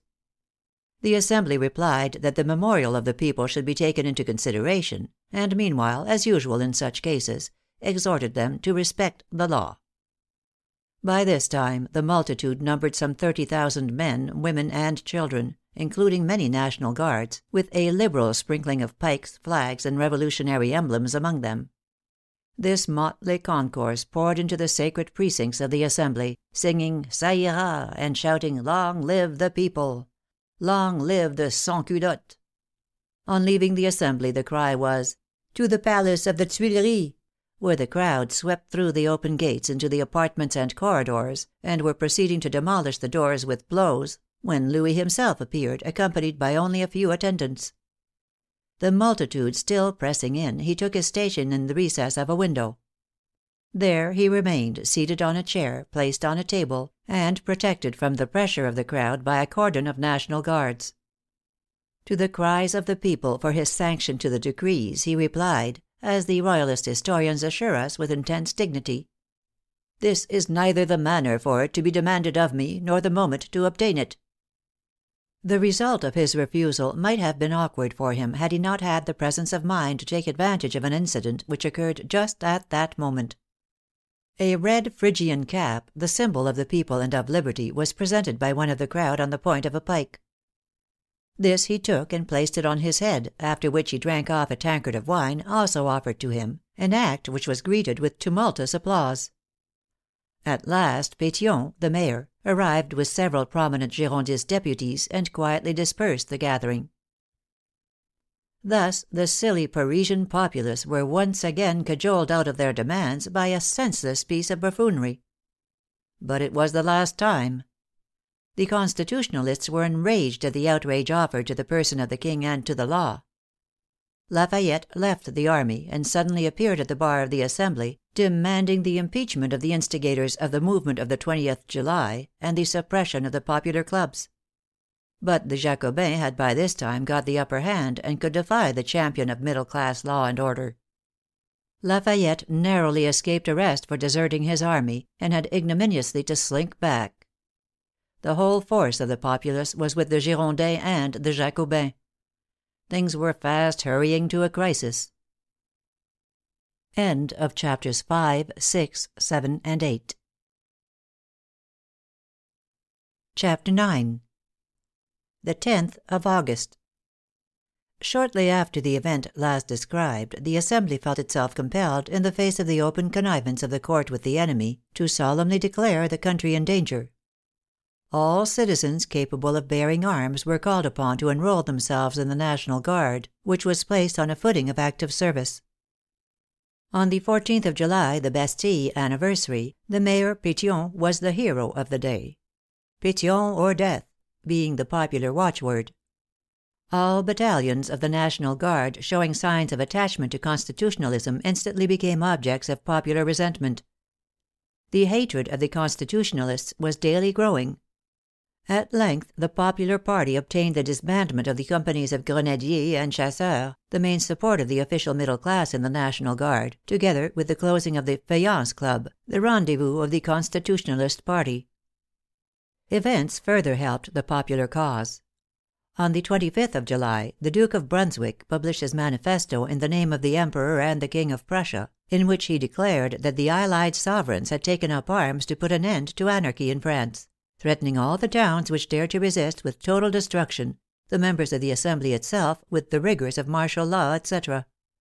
The active coalition, which was at this time confined to Prussia, Austria, the German princedoms, and the Principality of Turin, had formed the plan of marching concentrically upon Paris from three different points, the Moselle, the Rhine, and the Netherlands. It was on the day of the movement of the Rhenish division from Coblenz, under the command of the Duke of Brunswick, that this famous manifesto was issued. The following day, July 26, a contingent of 600 Marseillais, sent for by the Girondist Barbaroux, who was a native of Marseilles, entered Paris, ostensibly on their way to the camp at Soissons, a contingent rendered immortal by the hymn they sang as they marched along — the well known strains, Allons, enfants de la patrie, le jour de gloire est arrive, having been heard for the first time in the streets of Paris on that occasion. The advent of the Marseillais, though it did not, as was anticipated, result in an immediate outbreak, did nevertheless stir Paris to its foundations. The sections, or wards, into which the city was divided, became daily more importunate in demanding the dethronement of the King. A petition to this effect was drawn up by the municipality and the sections, and presented to the Assembly by Petion on the 3rd of August. The impeachment of Lafayette was next demanded on the 8th but after a warm discussion was rejected by a considerable majority.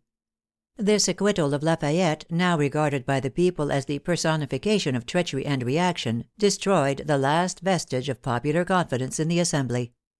The following day one of the sections sent to notify the legislature that if the decree of dethronement were not voted before nightfall, the tocsin, or alarm bell, should be sounded, général, or rallying drum, beaten, and open insurrection proclaimed, a determination which was transmitted to the forty eight sections of the city, and approved with only one dissentient. It was not voted, and the same evening the Jacobins proceeded in a body to the Faubourg St. Antoine, and there organized the attack on the Tuileries, which it was decided should take place the next day. Measures pregnant with import for the future course of the Revolution were determined at this meeting among others the dismissal of the Girondist mayor, Petion, who had already begun to inspire deep distrust, the annulment of the departmental assemblies, and replacement of the old municipal council by a revolutionary commune. At midnight the tocsin pealed, the Général beat, the sections assembled, and the newly nominated commune took possession of the Hotel de Ville. On the other side, the " loyal " battalions of the National Guard were marched to the palace, which was now filled with hired Swiss guards and chevaliers de cour, and the Assembly hastily called together. On hearing that Petion was detained at the Tuileries the moribund legislature at once ordered his release and restored him to his functions. But he no sooner entered the Hotel de Ville than he was placed under a guard of three hundred men by order of the new Commune. Poor Petion! Between two fires! The Commune then sent for the commander of the National Guard, Mandat, who was at the Tuileries with the royal battalions aforesaid. Mandat, not knowing of the creation of the new Commune, incautiously obeyed the summons, but turned pale on discovering new faces where he had expected to find the old municipal councilors. He was accused of having authorized the troops to defend the palace against the sovereign people, was ordered to the prison of the Abbaye, but was assassinated on the steps of the Hotel de Ville as he was being conveyed thither. Santerre was then nominated commander in chief in his stead. Meanwhile, not a few Nationals at the palace, in spite of their loyalty to the " Constitution," winced at finding themselves in the same galley with aristocrat adventurers, avowed enemies of the Revolution in any form or shape, and with mercenary foreign soldiers. Their leader gone, a division broke out, as Louis found when he came to review them, for while the cry, Vive le Roi, was responded to by some, Vive la Nation was responded to by more. But what was most ominous was the arrival of two fresh battalions armed with pikes as well as guns, who, after jeeringly greeting the King with shouts of Vive la Nation, Down with the veto, down with the traitor, took up position at the Pont Royal and pointed their cannon straight at the palace.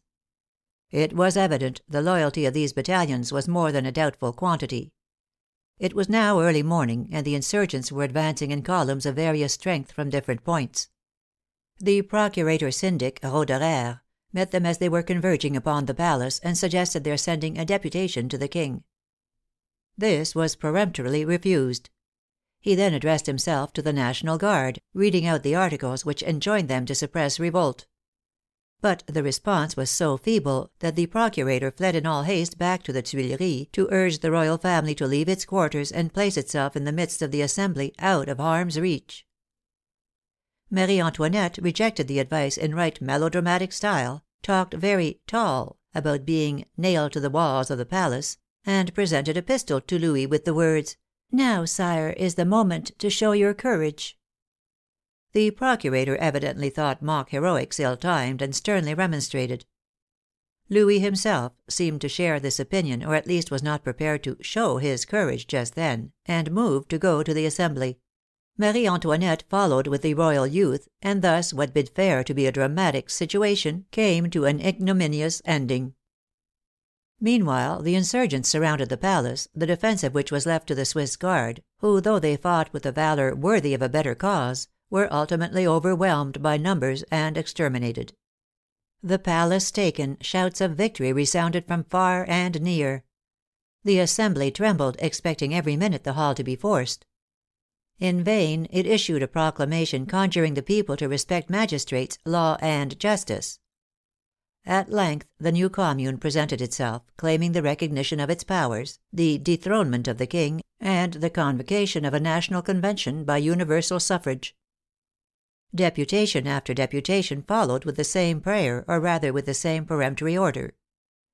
The Assembly, overawed, on the motion of the Girondist Vergniaud, passed a resolution in pursuance of the demands — that is, suspending the King, dismissing the Constitutionalist ministers, and ordering the convocation of a National Convention. The person of Louis, after remaining three days in the charge of the Assembly, was handed over to the Commune, by whose order he was conveyed as a state prisoner to the Temple. Thus ended the 10th of August, 1792. The critical struggle is henceforth not, as heretofore, between the middle class and the nobles or the King, but between the middle class and the proletariat. CHAPTER X. THE FIRST PARIS COMMUNE AND THE SEPTEMBER MASSACRES With the 10th of August and the overthrow of the monarchy, the first part of the French Revolution may be considered as complete. The middle class insurrection proper had done its work. The importance of that work from certain points of view can hardly be overrated. In a word, it had abolished, not, indeed, feudalism in its true sense — for that had long since ceased to exist — but the corrupt remains of feudalism, and the monarchical despotism it left behind it. The beginning of '89 found France cut up into provinces, each in many respects an independent state, possessing separate customs, separate laws, and in some cases a separate jurisdiction. The end of '89 even, and still more '92, found it, for good or evil, a united nationality. The power of the clergy and noblesse was completely broken. Judicial torture and breaking on the wheel were absolutely done away with. Madame Roland has described the dying cries of the victims of " justice," who, after having been mangled by the latter hideous engine, were left exposed on the market place, so long as it shall please God to prolong their lives. All this, then, was abolished, and in addition the goods of the clergy and of the emigrant nobility were declared confiscated. The interesting point as yet unsolved was, who should get this precious heritage, the nationalized lands, houses, and movable possessions of the recalcitrant first and second estates. To avoid interrupting the narrative, we shall devote a chapter to the elucidation of this point later on.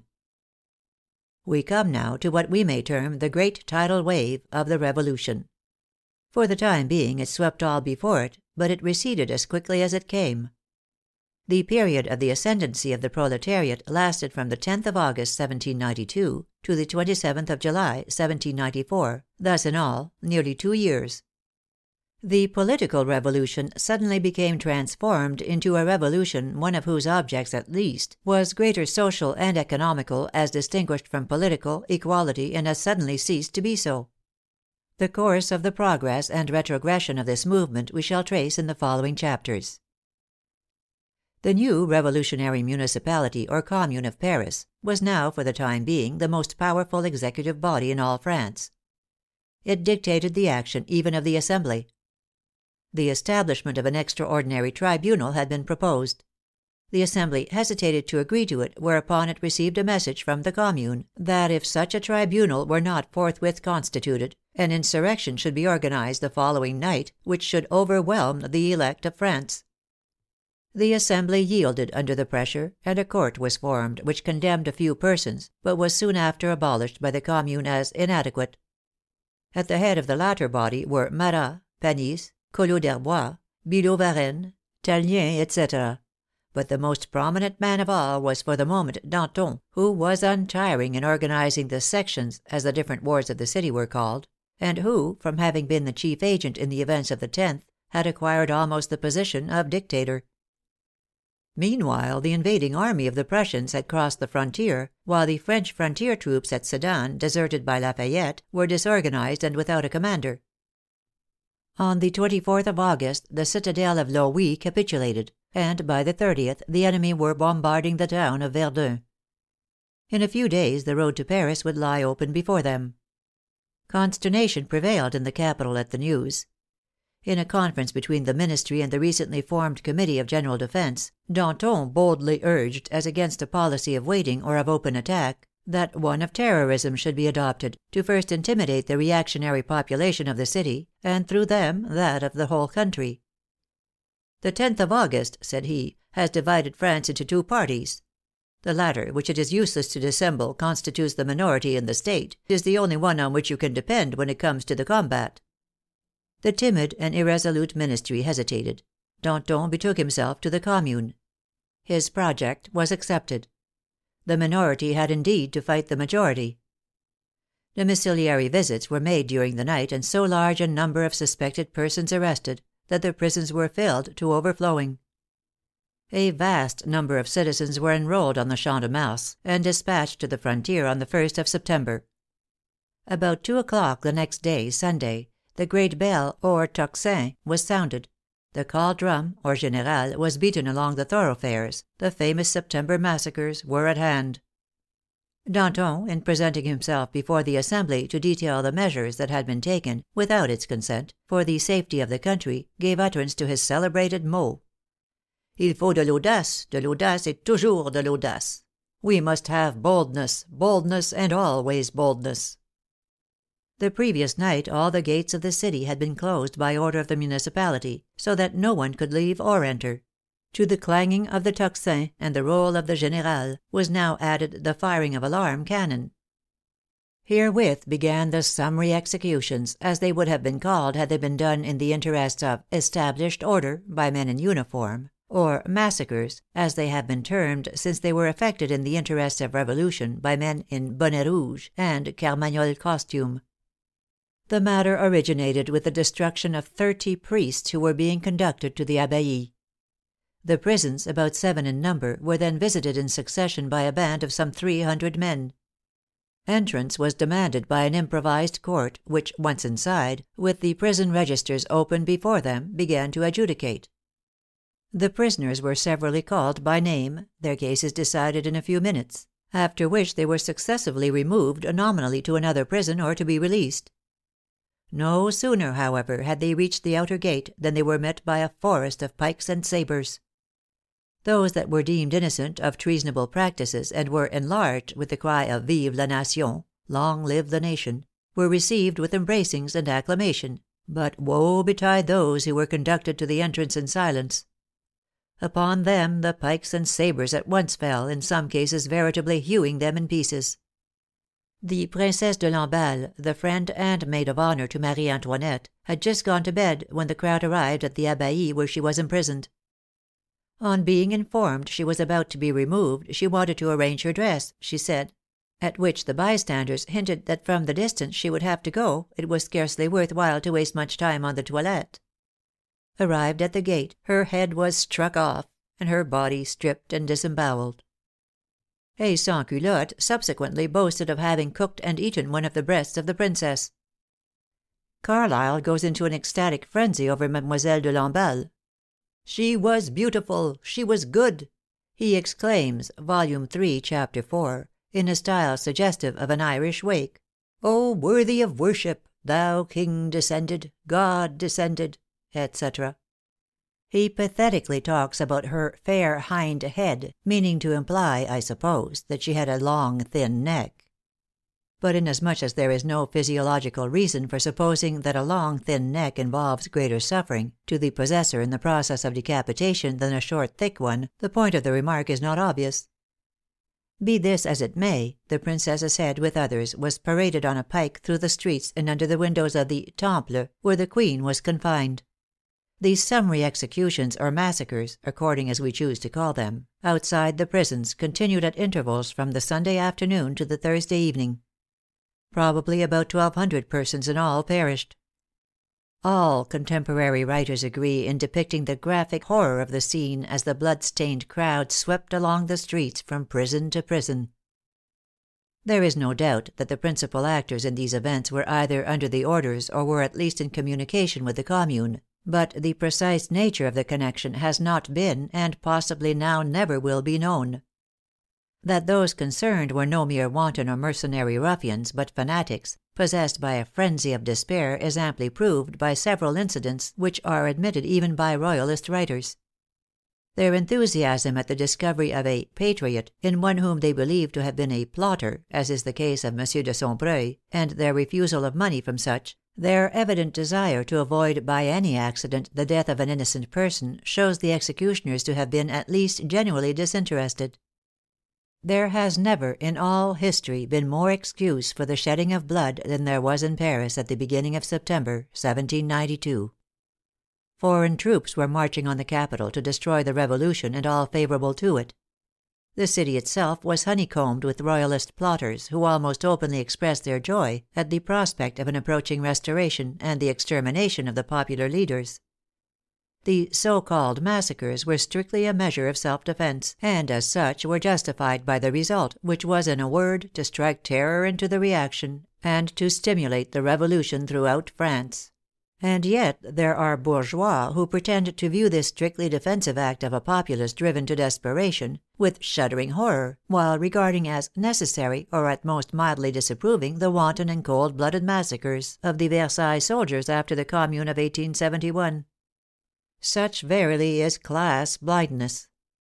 As in all great crises in history, so in the French Revolution, an active minority had to fight and terrorize the stolid mass of reaction and indifference which, alas, is always in the majority. CHAPTER XI THE NATIONAL CONVENTION While these events were going on in Paris, Dumouriez, the successor of Lafayette as commander in chief of the French army, was in the East organizing the resistance to the invasion. Verdun was taken by the Prussians almost without resistance. But the new commander, who, whatever else he may have been, was a man of military genius, saw at a glance the strategical situation, and, in opposition to the council of war, decided to lose no time in occupying the passes of the mountainous district of the Argonne. He circumvented the enemy by forced marches, and they soon found the road to Paris barred by precipitous rocks and well guarded passes. The Prussians, notwithstanding, forced one of the more feebly defended of the positions, and were on the point of surrounding the French army when Dumouriez, by a dexterous retreat, succeeded in evading them till the arrival of his reinforcements. Meanwhile the weather helped the defenders. Heavy rains converted the bad roads into rivers of mud knee deep, and it was not until the 20th of the month that the main body of the invaders reached the heights of Valmy, where General Kellerman was in command, and which they attempted to storm. The result decided the fate of the invasion. the Prussians and Austrians were completely defeated to the cry of Vive la Nation, and retired in disorder. Up to this time the fortunes of war had been unremittingly adverse to the French. But the turning point had come. Henceforward the revolutionary army, which from this moment assumed the offensive, went forth for some time conquering and to conquer. The present sketch not being a history of the Revolutionary War, but of the Revolution itself, I shall in future only allude to the military situation in so far as it affects the course of internal affairs. The moribund Legislative Assembly lingered on during the election of the Convention the first political body chosen by direct, universal, and equal suffrage which did not open its deliberations till the 21st of the month. After the usual preliminaries, it formally abolished royalty, and proclaimed the Republic. Its next measure was to declare the new era to date from the current year as the first year of the French Republic. These measures were carried by acclamation. But the Convention almost immediately became the prey of internal dissension. This most remarkable of legislative bodies embraced every shade of opinion and almost all the men of any prominence in public life.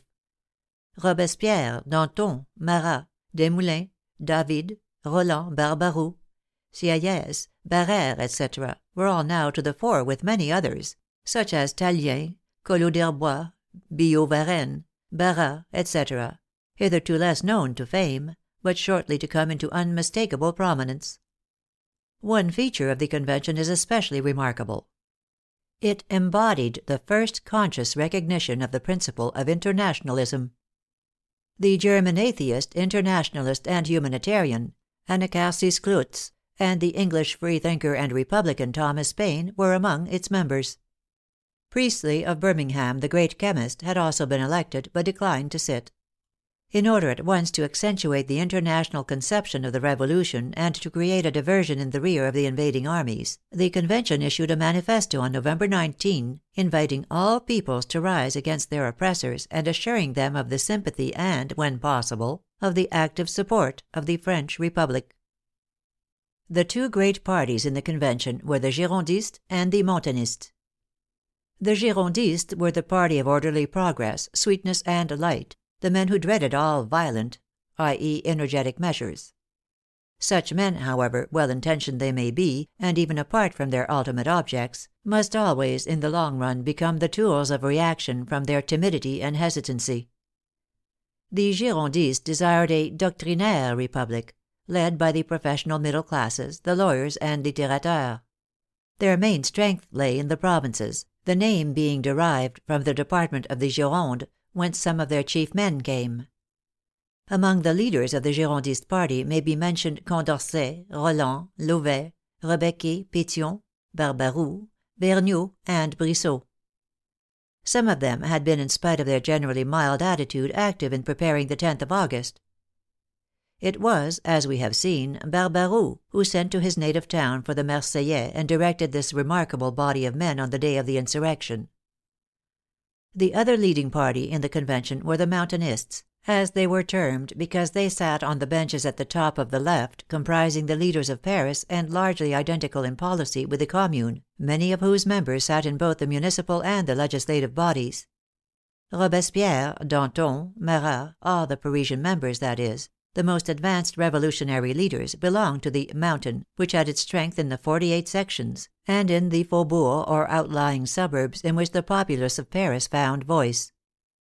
The Mountainists advocated uncompromising revolutionary principles, besides aiming to some extent at economic equality, a vigorous policy and a strong centralization, in opposition to the Girondists, who favored strictly middle class republicanism, a timid and vacillating policy, and federalization, or local autonomy. The struggle between the Mountain and Gironde was in part a struggle for supremacy between Paris and the departments. Besides the Mountainists and Girondists proper, i.e., those who represented any definite principles at all, who both together constituted a minority in the Convention, notwithstanding that they dictated its character and policy, there was the actual majority which was called the Plain, its members being sometimes designated in ridicule frogs of the marsh.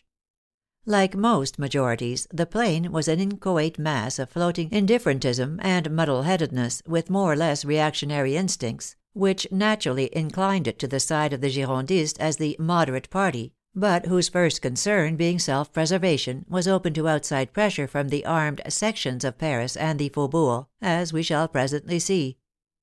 These " men of the plain," or frogs of the marsh, included many persons of ability, who subsequently came to the front under the Directorate after all danger of popular insurrection was at an end. War was declared within the Convention before many days were over, by the Gironde, on the ostensible pretext of the September massacres, which they accused the partisans of the Mountain of having instigated. The individuals attacked were Robespierre and Marat.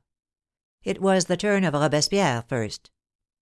He was accused of aspiring to the dictatorship, and the whole force of Girondist eloquence was brought to bear upon the lean and cadaverous ex advocate of Arras, though without result no definite charges could be formulated against him.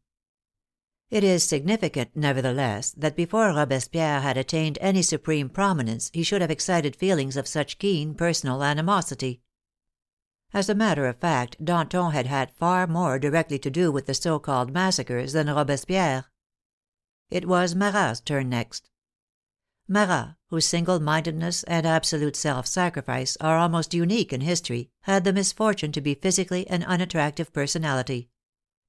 He suffered from an unpleasant skin malady which, as it happens, was not syphilis, as many writers have hinted, but seems to have been of the nature of the sheep disease known as the scabies. It was very possibly contracted, and without doubt considerably aggravated, through semi starvation and the cellar life he was compelled to lead during the early part of the Revolution.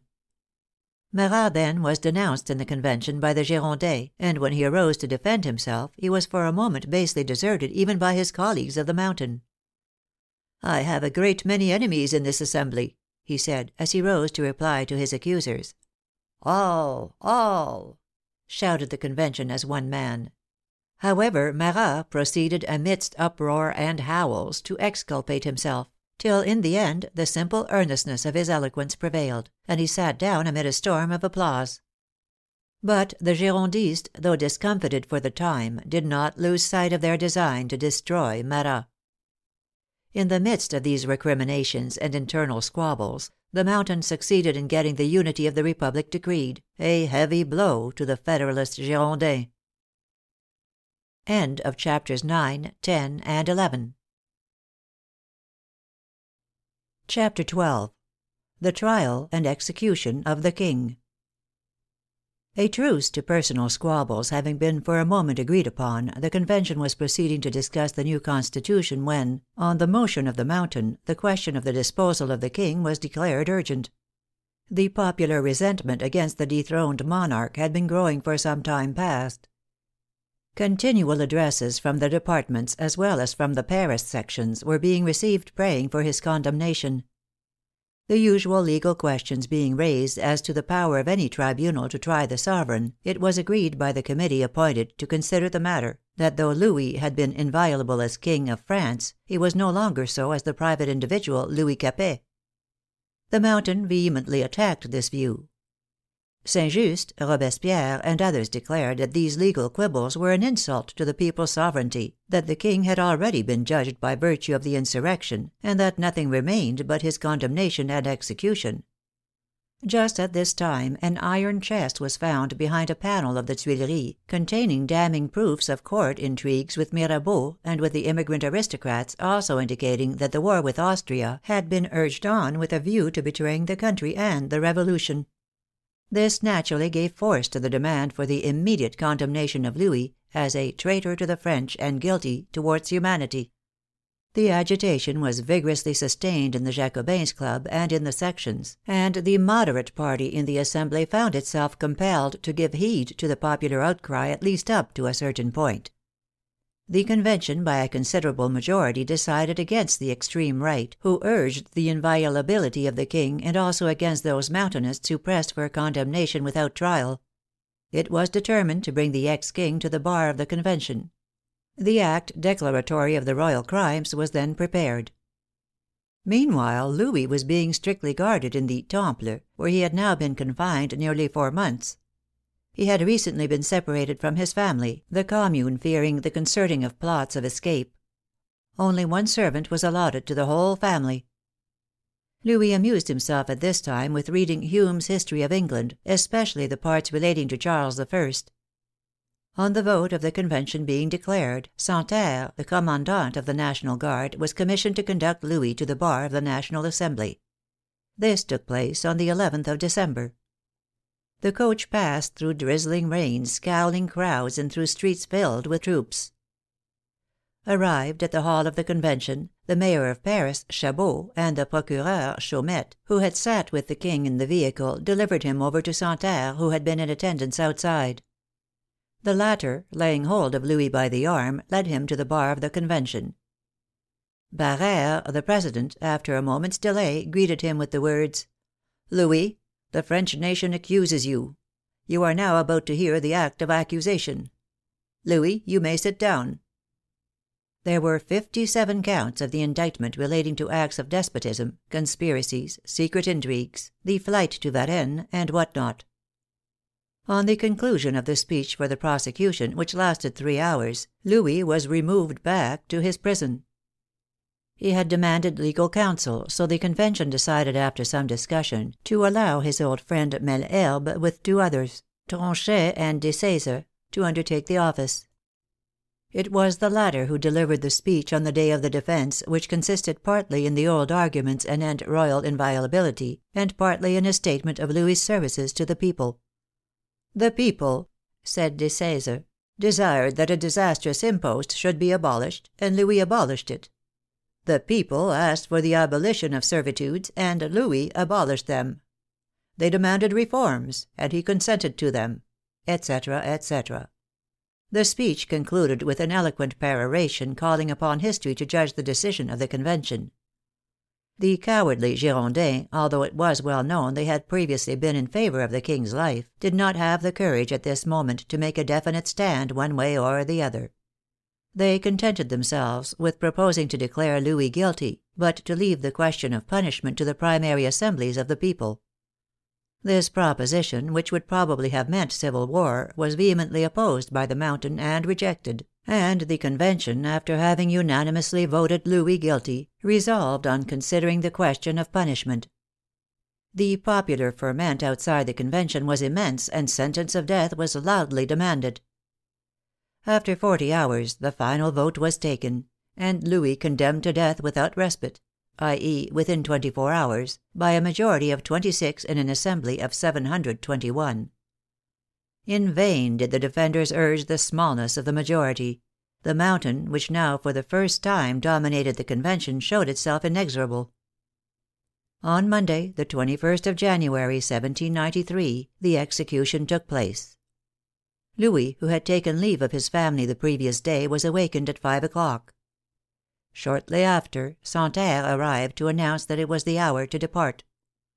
At the same time the murmur of crowds and the rumbling of cannon were heard outside. The carriage took upwards of an hour to pass through the streets which were lined with military. At length the Place de la Revolution was reached, and Louis ascended the scaffold. He was beginning to protest his innocence, when on the signal of Santerre his voice was drowned by the beating of drums, the executioner seized him, and in a moment all was over. The death of Louis was probably necessary for the safety of the Republic at the time, but one cannot help having some pity for one whose worst offences were a certain feebleness, and a good nature which made him the ready tool of a cruel, unscrupulous, and designing woman. It should be noted as regards the decree in the Convention that, unlike the Girondins, plucky Tom Paine up to the last manfully voted in the sense in which he had always spoken, viz for the life of the King, and this at the imminent risk of his own. Notwithstanding this act, a grateful respectability, which afterwards tried to exalt the feeble Louis into a hero and a martyr, has ever since heaped every vile calumny on poor Paine's memory. CHAPTER XIII THE DEATH STRUGGLE BETWEEN MOUNTAIN AND Gironde On the evening of the final vote in the Convention on the matter of the King, Lepelletier de Saint Fargeau, a deputy and ex noble, who had voted with the majority, was assassinated by an ex royal guard in a cafe. On the Thursday following he received a public funeral, his remains being interred in the Pantheon of great men. The Convention, Municipality, and all the revolutionary societies followed in a body. This was the last united action of the various parties. The feud between Mountain and Gironde broke out with renewed fury after the temporary cessation. The quarrel was intensified out of doors by the old but ever increasing lack of the necessaries of life, especially of bread. The queues at the bakers' shops assumed more formidable dimensions, developing into mobs and devastating provision shops. Marat had suggested in his journal that a few of the forestallers who were helping to keep up the price of bread should be hanged at the doors of bakers' shops. The crowds, dressed in carmagnole or merely ragged, maddened by hunger, danced the more wildly to the well known strains, Vive le son du canon. Day and night groups of these revolutionary revelers might be met along the thoroughfares. Meanwhile the sound of the cannon was going on with vigor and to the honor and glory of France. Dumouriez had invaded and conquered the Netherlands, and the Jacobins and other revolutionary bodies had sent missionaries to the newly annexed provinces. But the powers, great and small, finding themselves and the aristocratic monarchic order they represented being beaten all along the line, drew closer together and made new levies. England, Spain, Italy, Austria, Prussia, the small German states hurled new and gigantic armaments into the breach. The Convention answered in its turn by a fresh levy of 300,000 men. But Danton and the Mountain demanded at the same moment that while external enemies were being fought, internal enemies should not be neglected. They proposed that a tribunal composed of nine members should judge without jury and without appeal. The tribunal was instituted, but the jury added. Dumouriez now sustained some reverses in his invasion of Holland. He was ordered back into Belgium, but this did not satisfy the Mountain and the Jacobins, who had for long looked askance at Dumouriez as a Girondist partisan, and became now more convinced than ever that he was working in the interest of the faction, and that the defeat was due to treachery. The Girondin ministers and generals were the objects of the bitterest resentment. So high did the feeling run that a conspiracy was set on foot to assassinate the leading men of the party in the Convention on the night of the 10th of March. The conspirators, it is alleged, actually set out, but the plan miscarried, owing to its betrayal beforehand to the persons threatened. Vergniaud, the great Girondin orator, denounced the plot next day in the Assembly, and the advanced parties were for a moment checked. But the news of the spread of the aristocratic revolt in the district of the Loire, known as La Vendee, quickly enabled them to regain their ascendency. The Vendee was a district in which there were no large towns, and consequently hardly any middle class or proletariat. It was a district inhabited almost exclusively by peasants, priests, and nobles, and consequently altogether out of touch with the objects of the Revolution, the peasantry still venerated their old masters, and hated the new middle class. The immediate cause of the fresh outbreak, however, was the new levy. In Paris the feeling against Moderates and half hearted friends at the Republic waxed greater than ever. The new Revolutionary Tribunal redoubled its activity. Following upon the bad news from the Vendee came that of further and still more serious reverses in Belgium on the part of Dumouriez, and what was worse, indisputable evidence of intrigues with the Austrians to re establish the monarchy in the person of the Duc de Chartres, the young son of Philippe d'Orleans Egalite, the King's cousin and member of the Mountain party. This Duc de Chartres, at that time a lieutenant of Dumouriez, became subsequently Louis Philippe, King of the French. Dumouriez almost immediately after openly proclaimed his intention of marching upon Paris to subdue the Revolution but he did not succeed any better than Lafayette, his predecessor in the same course. His troops, although attached to him personally, hesitated at treachery to the Republic. The same with the officers. The Convention was energetic. It sent four commissioners, among them the Minister of War, to summon the traitor general to the bar of the Convention. He not only refused to come, but handed over the commissioners as hostages to the Austrians. After a further fruitless attempt to seduce the army, he sought refuge with the Duc de Chartres and a few other officers in the Austrian camp, and from this time history knows him no more. Dumouriez's defection drove the last nail into the coffin of the Girondist power.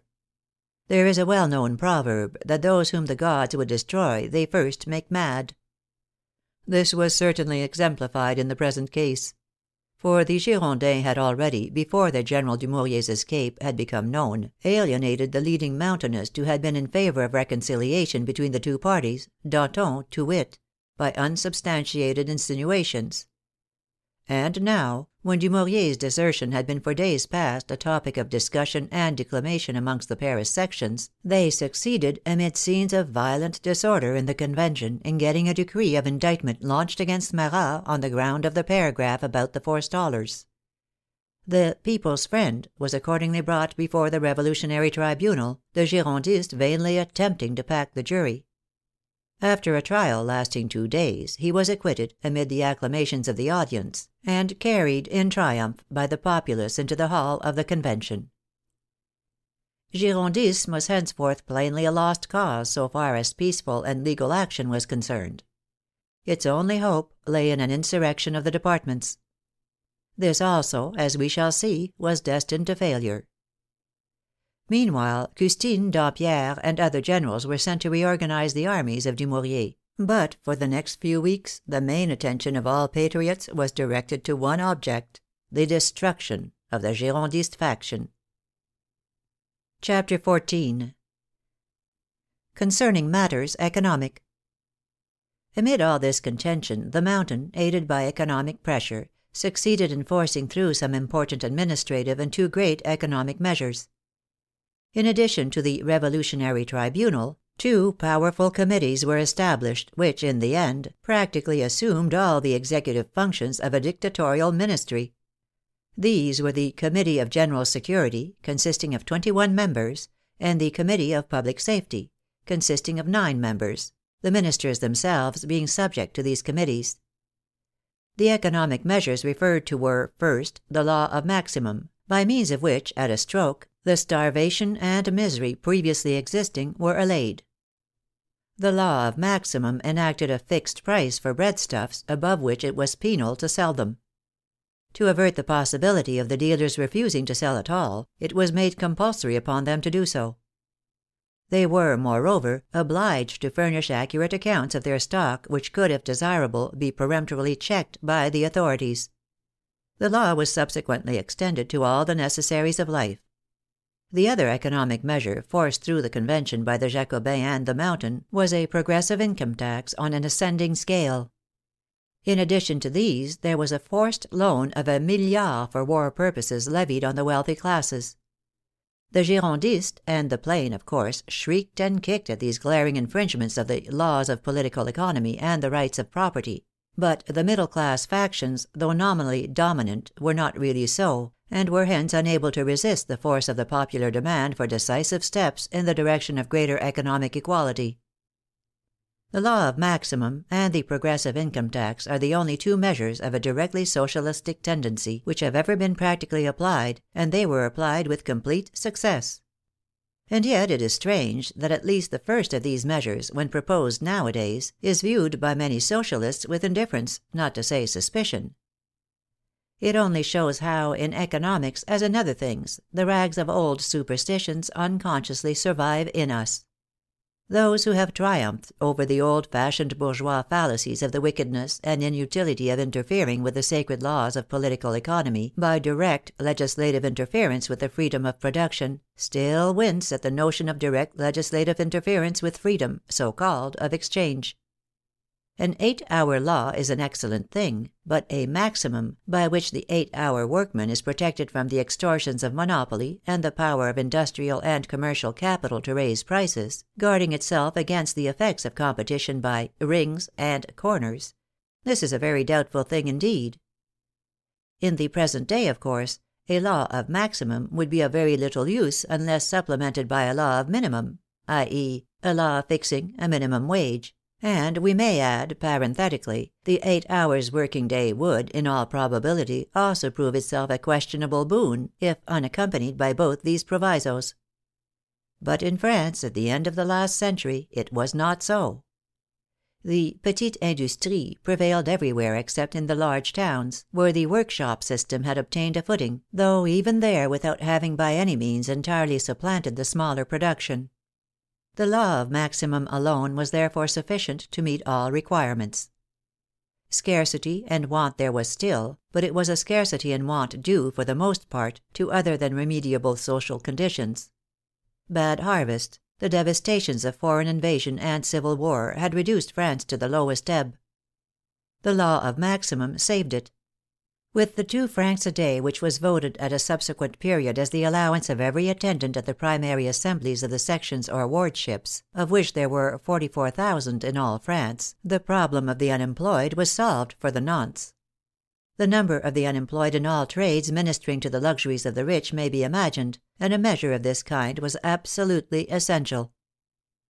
The net result of the interference by the Convention with the laws of political economy is well expressed by Carlyle, where he declares that " there is no period to be met in which the general twenty five million of France suffered less than in this period, which they name reign of terror." Time was as yet not ripe for the great constructive movement of modern Socialism, and hence the merely remedial treatment here explained was all that could even be attempted. The great fact to be noted is that for the first time in history the cry for material and social equality as opposed to mere political and legal equality became definitely articulate. That cry has often enough since been smothered, but has always made itself heard again at short intervals. The party of the Mountain and the Jacobins, the Babeuf conspiracy, the Chartist movement, the days of June, 1848, the Commune of 1871, are all so many stages in the awakening of the proletariat to the full consciousness of itself which it attains in modern Socialism. CHAPTER XV THE FALL OF THE GIRONDE Apart from the laws referred to in the last chapter, which were with difficulty forced through the legislature by the Mountain, the six weeks which elapsed between the acquittal of Marat and the 2nd of June, the day of the extinction of the Girondist power, were fruitful in nothing but a progressive mutual exacerbation of the two parties. Petitions and deputations began to pour in praying for the expulsion and even condemnation of some twenty two of the leading Girondists. On the 10th of May the Convention shifted its quarters from the old riding school to the Tuileries.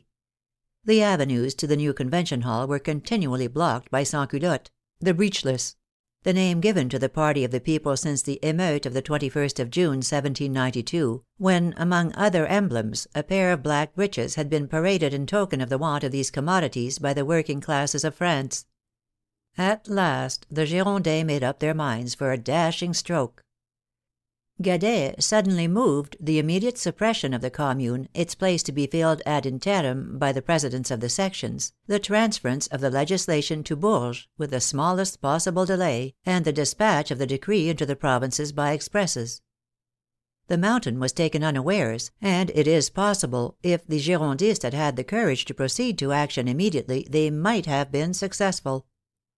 But this they did not dare do in face of the urgency of the situation on the frontier, well knowing that civil war would be the outcome.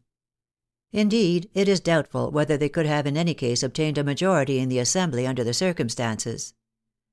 Barere proposed, as a compromise, the establishment of a commission of twelve members to inquire into the conduct of the municipality, to search out the plots of the Jacobins, and to arrest suspected persons. The proposition was accepted, and the Commission established. Under the pretence of having discovered a new conspiracy, it immediately proceeded to imprison several prominent persons, among them being the Secretary of the Commune, Hebert, editor of the Pere Duchesne newspaper. This at once excited immense popular indignation.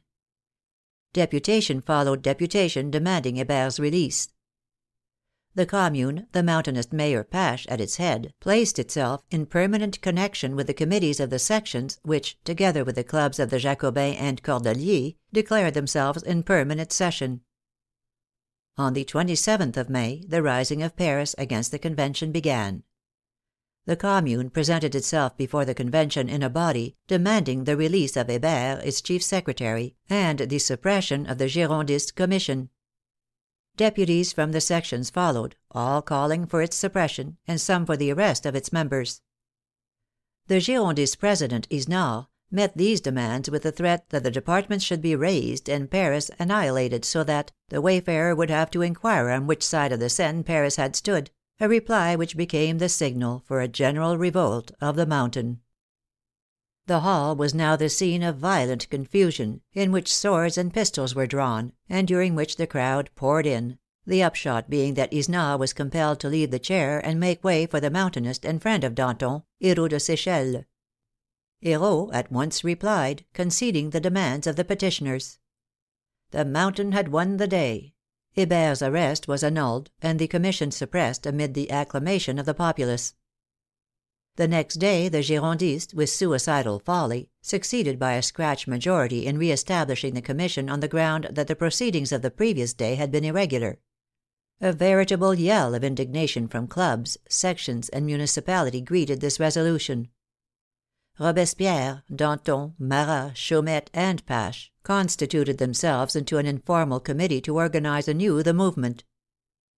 On the 30th the clubs and sections publicly declared themselves in a state of insurrection, their delegates, to the number of ninety six, entering the Hotel de Ville, and as a matter of form annulling the municipality, as a legally constituted body, but immediately reinstating its members in their functions under insurrectionary auspices. Mayor Pache was sent to report the matter to the Convention, while Henriot, the new commandant of the National Guard, called upon the sections to be ready for action at any moment, the Sansculottes to be allowed two francs a day so long as they remained under orders. Early the following morning, the 31st, the tocsin was rung and the Generale beat, and the armed sections were assembled and marched upon the Tuileries. The signal for the insurrection was an alarm cannon which was fired just as Mayor Pache was making his report, and it must be admitted, trying to hoodwink the legislature with the pretence that he was not privy to the proceedings. The consternation in the Assembly at the ominous sound was general. Danton rushed to the tribune to demand anew the suppression of the Commission. All the leading Mountainists did the same. The majority still hesitated. Deputations now began to arrive thick and fast, till all the gangways were blocked up by excited crowds. The suppression of the Commission and the arrest of its members and of the other leading Girondists was loudly demanded on all sides. Various propositions were being discussed when the report spread that the Tuileries were surrounded by armed forces and the Convention no longer free. Even some members of the Mountain winced at this outrage on the national sovereignty. At length it was decided that the Assembly should march out in a body and confront the insurgents. This was done, Herault de Sechelles leading the way.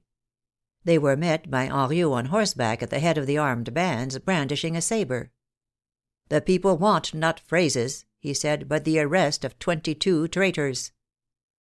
Two cannons were immediately pointed straight at the Convention, which prudently retired.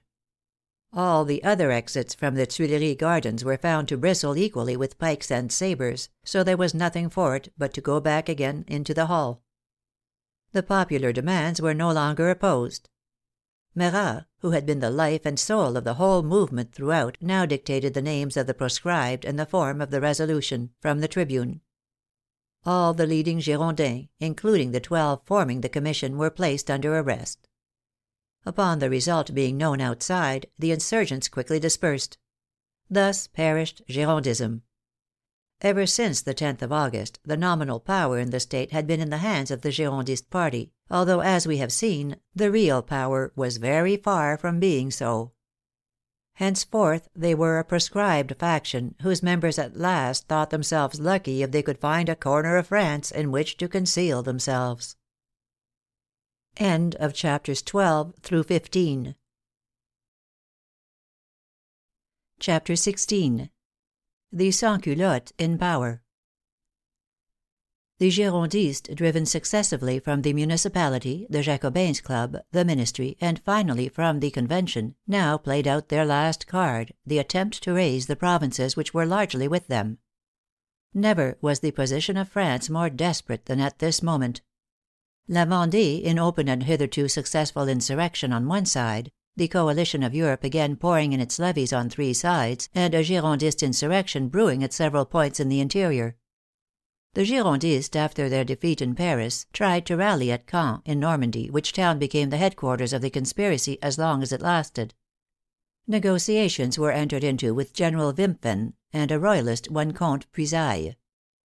Somehow, in spite of the sympathy of the departments, especially the large middle class towns, the project failed completely as a general movement, partly owing to mismanagement, want of concert and royalist intrigues, which alienated many otherwise sympathetic, partly to the presence of the foreign invader, and partly to the vigorous action of the leaders of the Revolution in Paris.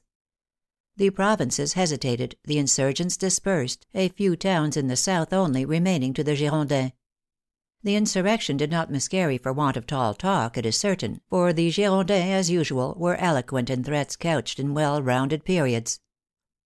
While this was going on, a young woman of good family in Caen, who had been largely in the society of Girondins, and had heard much talk of Marat as the leader of the recent movement, without stating her intention to anybody, traveled up to Paris by diligence, and obtaining an interview with the popular leader under the pretext of furnishing information of the conspiracy at Caen, murdered him. Poor Marat, who was almost dying at the time, was in a bath, his helpless condition rendering him an easy prey to the knife of his dastardly assassin. A few sous only were found in his possession. Thus perished the first great vindicator of the rights of the modern proletariat, a truly single minded champion of the oppressed. Of average intellect merely, it is Marat's unique and titanic force of character which must make him immortal in history. Charlotte Corday was tried and condemned before the Revolutionary Tribunal, maintaining a theatrical demeanor to the last. She was guillotined on the 17th of July, three days after the assassination. A poor fool, a native of Mainz, Adam Lux by name, went crazy over her. The death of the People's Friend caused a veritable panic in the ranks of the Revolutionary party. No patriot was without some token of him, he was invoked in every revolutionary function, and his bust was crowned in all public assemblies. The Convention unanimously granted him the honors of the Pantheon. The fugitive Girondins now found their position harder than ever. They had to fly from Caen before the emissaries of the Mountain. Jacobin commissioners were scouring the country up and down, the revolutionary power in Paris having developed an almost superhuman activity. The only places where the insurrection still flickered on were in Lyons, Marseilles, and Bordeaux, cities which had compromised themselves too far to hope for forgiveness from the Convention, and which, notably Lyons, were destined before long to feel the heavy hand of the Sansculottic vengeance. Yet, notwithstanding the virtual collapse of the Girondist rebellion, the state of affairs had hardly improved. The armies, now again everywhere on the defensive, were disorganized and dispirited things still seemed utterly hopeless. If France was to be saved, it could only be by a dead lift. The revolutionary power in Paris now consisted of the Convention, or rather the Mountain, which dominated the whole Assembly, the two committees, of General Security and of Public Safety, the Commune, or municipality, and lastly, the clubs of the Jacobins and Cordeliers, especially the former, whose deliberations were hardly second in importance to those of the Convention. The primary assemblies of the forty eight sections, in which every citizen was free to express his opinion, but which were almost entirely appropriated by the Sansculottes, together with the revolutionary committees attached to them, were also a considerable factor in public affairs. This agglomeration of popular forces constituted the power which had to raise France and the Revolution out of the abyss into which they had sunk. The consolidation of the new government was the first thing to be attempted. The long talked of Constitution was next put in hand, Herault de Sechelles being entrusted with the task of drawing it up. This celebrated Constitution of '93, for long regarded as the sheet anchor of Sansculottism, is probably the most thoroughgoing scheme of pure democracy ever devised. It not only formally recognized the people as the sole primary source of power, but it delegated the exercise of that power directly to them. Every measure was to be submitted to the primary assemblies of the sections, of which there were 44,000 in all France. The magistrates were to be re elected at the shortest possible intervals by simple majority. The central legislature was to be renewed annually, consisting of delegates from the primary assemblies who were to be furnished with imperative mandates. This constitution passed the Convention, and was accepted by a large majority of these sections throughout France. The representatives of the said 44,000 wardships when they came to the Convention demanded in face of the existing emergency, the arrest of all suspected persons and a general rising of the people. Danton, in a vigorous speech, moved that the commissioners of the primary assemblies should be instructed to report the state of arms, provisions, and ammunition, and to raise a levy of 400,000 men, and that the Convention should take the oath of death or victory. This was carried unanimously.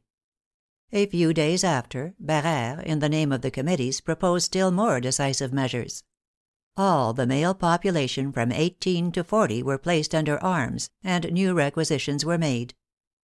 Soon there were forty armies, comprising in all 1,200,000 men. The Committee of Public Safety, with Carnot, grandfather of the late President of the French Republic, as chief of the War Department, were untiring in their energies in organizing the defense. Forty sous a day was enacted as the allowance of every sectionist. The famous law of suspects was passed, and wholesale arrests were made of persons thought to be of Girondist or Royalist sympathies. The middle classes fared now as badly as the aristocracy had previously. The reign of terror had begun, necessitated by the same exigencies as the September massacres — imminent foreign invasion combined with domestic treachery.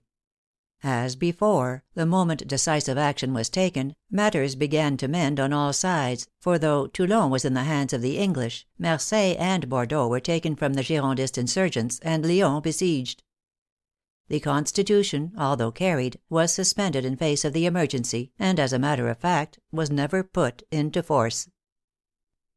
CHAPTER XVII THE DICTATORSHIP OF THE COMMUNE the revolutionary power in Paris, as we have said, was nominally divided between the Commune, at the head of which were Hebert and Chaumette, the two committees which included Robespierre, Danton, Carnot, etc., the Convention, and the popular clubs whose influence, though unofficial and indirect, was in no respect less than that of the representative assembly itself. During the period from August 10, 1792, to the opening of the Convention, 21st September, the chief center of power lay with the Commune led by Danton. From the 21st of September to the 2nd of June the Convention as a body was more or less dominant. In the period from the 2nd of June, 1793, to the end of the year, power resided mainly in the Commune, led by the Hebertists. Thenceforward to the 27th of July, 1794, the fall of Robespierre, it was the committees, especially the Committee of Public Safety, which practically dictated to France. The Jacobins' Club, meanwhile, reflected for the most part the attitude of the dominant Parisian opinion, and of the governing body. It underwent several epurations or purifications in the course of the revolutionary period, on which occasions a batch of members, whose views were out of accord with the prevalent feeling of the hour, would be expelled. Almost simultaneously with the collapse of the Girondist rising and the entry of the Convention troops into the cities of the South, the tide began to turn in La Vendee. The attempt of the insurgents to take Nantes failed, and though the insurrection lingered on for some time longer, it never again became formidable. The revolutionary armies, indeed, were nearly everywhere victorious under the new generals, Moreau, Hoche, Pichegru, Jourdan, Kellerman, etc. The Prussians and Austrians, under the command of the Prince of Coburg, were dislodged from their vantage ground in the east, the Spaniards driven back in the south, and the English and Hanoverians defeated in the north. Thus a second time was France, by a stupendous dead lift effort, saved from imminent ruin by the raw levies of the Revolution. The victories of Dumouriez in '92 were repeated on a grander scale in the great campaign, which the genius of Carnot organized in '93 and '94. The Revolution now was answering the coalition in the spirit of Danton's defiant menace, " The combined kings threaten us. We hurl at their feet as gage of battle the head of a king." France was converted into one vast camp. But for many months yet the French were not destined to feel themselves " out of the wood." The dread of possible reverses followed by invasion and political extinction was ever before their eyes. And hence it was not till the end of July, '94, that the reaction against the " Terror " had gathered strength enough to overthrow the system itself. So long as danger threatened from without, public opinion tolerated the guillotine, and at the period at which we have arrived the great activity of that famous instrument began. The " law of the suspect," which enabled the committees of the sections to arrest all suspected persons and incarcerate them prior to their being brought before the revolutionary tribunal, speedily filled the prisons to overflowing. After conviction and death, the property of the executed was confiscated by the State. The Commune was the virtual head of the revolutionary committees of the sections in the provinces as well as in Paris. It had a special force of 7,000 men, commanded by Ronsin, the dramatist, and called the Revolutionary Army under its orders, besides flying columns in its pay scouring different parts of the country. The Commune may be taken as the representative in the Revolution of the proletarian interest, pure and simple. Though the circumstances of the time caused it to be unhappily an instrument of the Terror, its activity was by no means confined to this. The Commune made it pretty soon evident that in its eyes the existence of a commercial middle class was quite as incompatible with the welfare of the people as that of an aristocracy. Economical equality was the avowed end of the Revolution for the Commune. Hebert and Chaumette, nevertheless, busied themselves with various projects of a palliative character, such as hospital and prison reform. They attempted to introduce primary and secular education into every village in France. The law of maximum and compulsory sale was at their suggestion enlarged in scope, being applied to almost all articles of common consumption. Forestalling was forbidden under the heaviest penalties. A maximum was even applied to wages at this time, a proceeding calculated in a society not yet out of the small production to make considerable havoc with what some people call the " rent of ability," though it was enacted solely with a view to government employment for the national defense.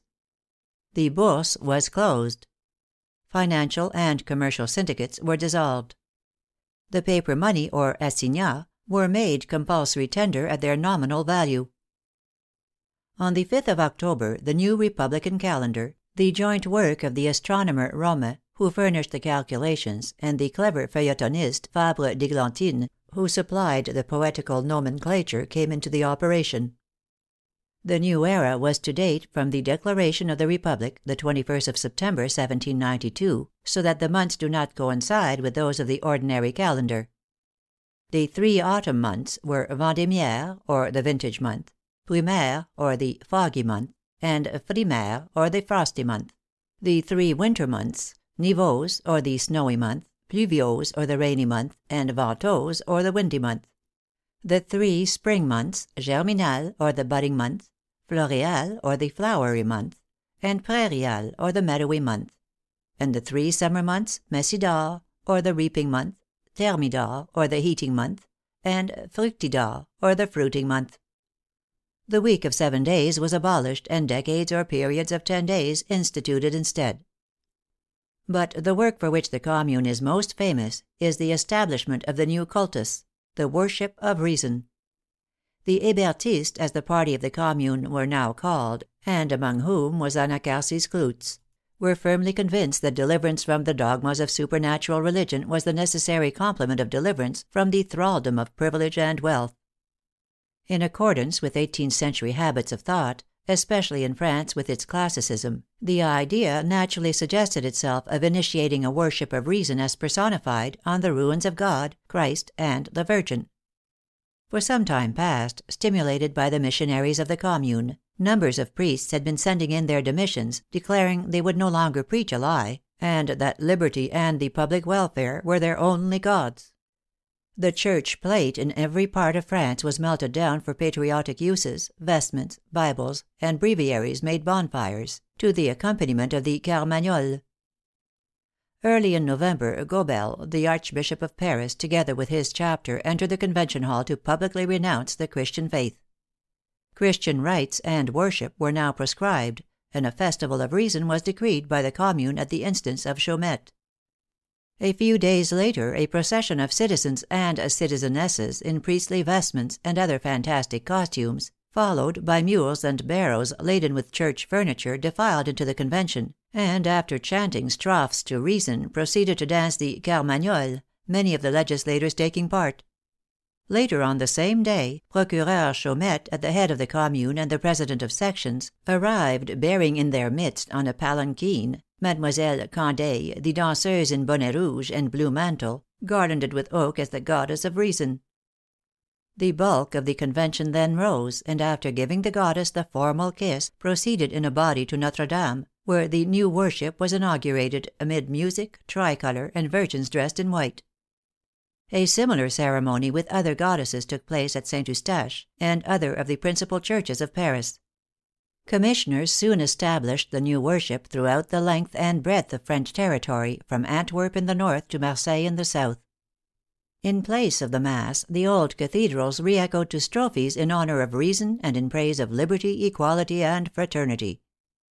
Over the churchyards appeared the device, Death is an eternal sleep. Old things had passed away, and all things had become new. It should be said that the Goddess of Reason was never intended to be more than a symbol, and not, as has been sometimes represented, herself an object of worship. Viewed in its true light, the idea, if somewhat pedantic, was not unpleasing.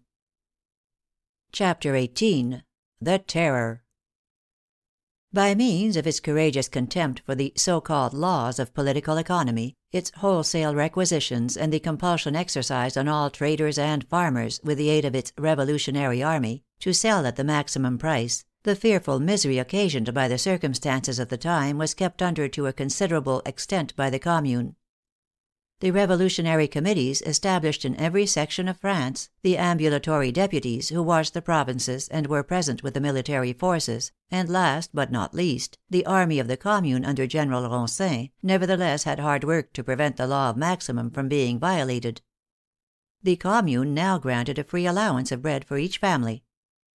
Arrests in Paris and the provinces went on apace. By the end of October, three thousand persons were in the prisons of Paris alone, the revolutionary committees formed in every section having, as already stated, power to arrest all persons suspected of reactionary tendencies. On the 14th of October the Queen, Marie Antoinette, was brought before the Revolutionary Tribunal and convicted, after two days' hearing, on overwhelming evidence of the basest treachery towards France and of the most sanguinary intentions with regard to Paris. It was, indeed, high time that this atrocious woman met her deserts. When the country was at the lowest depths of misery some years before the outbreak of the Revolution, all this abandoned wretch could think of was squandering fabulous sums of the nation's wealth in conjunction with her friend, the court head prostitute and procuress, the Princess de Lamballe, killed in the September massacres, on jewels, balls, and sinecures for her paramours. If any one ventured to call attention to some flagrant abuse in her presence, he was invariably silenced with the reply, "Yes, but we must amuse ourselves." Oui, mais il faut s'amuser. It was only after her amusements had been curtailed by the utter collapse of the finances, a consummation to which she had contributed so largely by her criminal extravagances, that she began to interest herself in public affairs.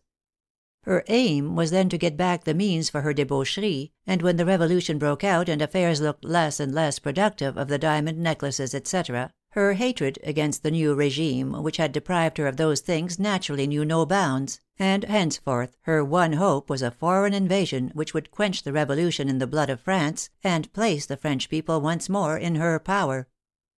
As for poor, feeble, foolish Louis, he was completely in the toils of this noxious reptile.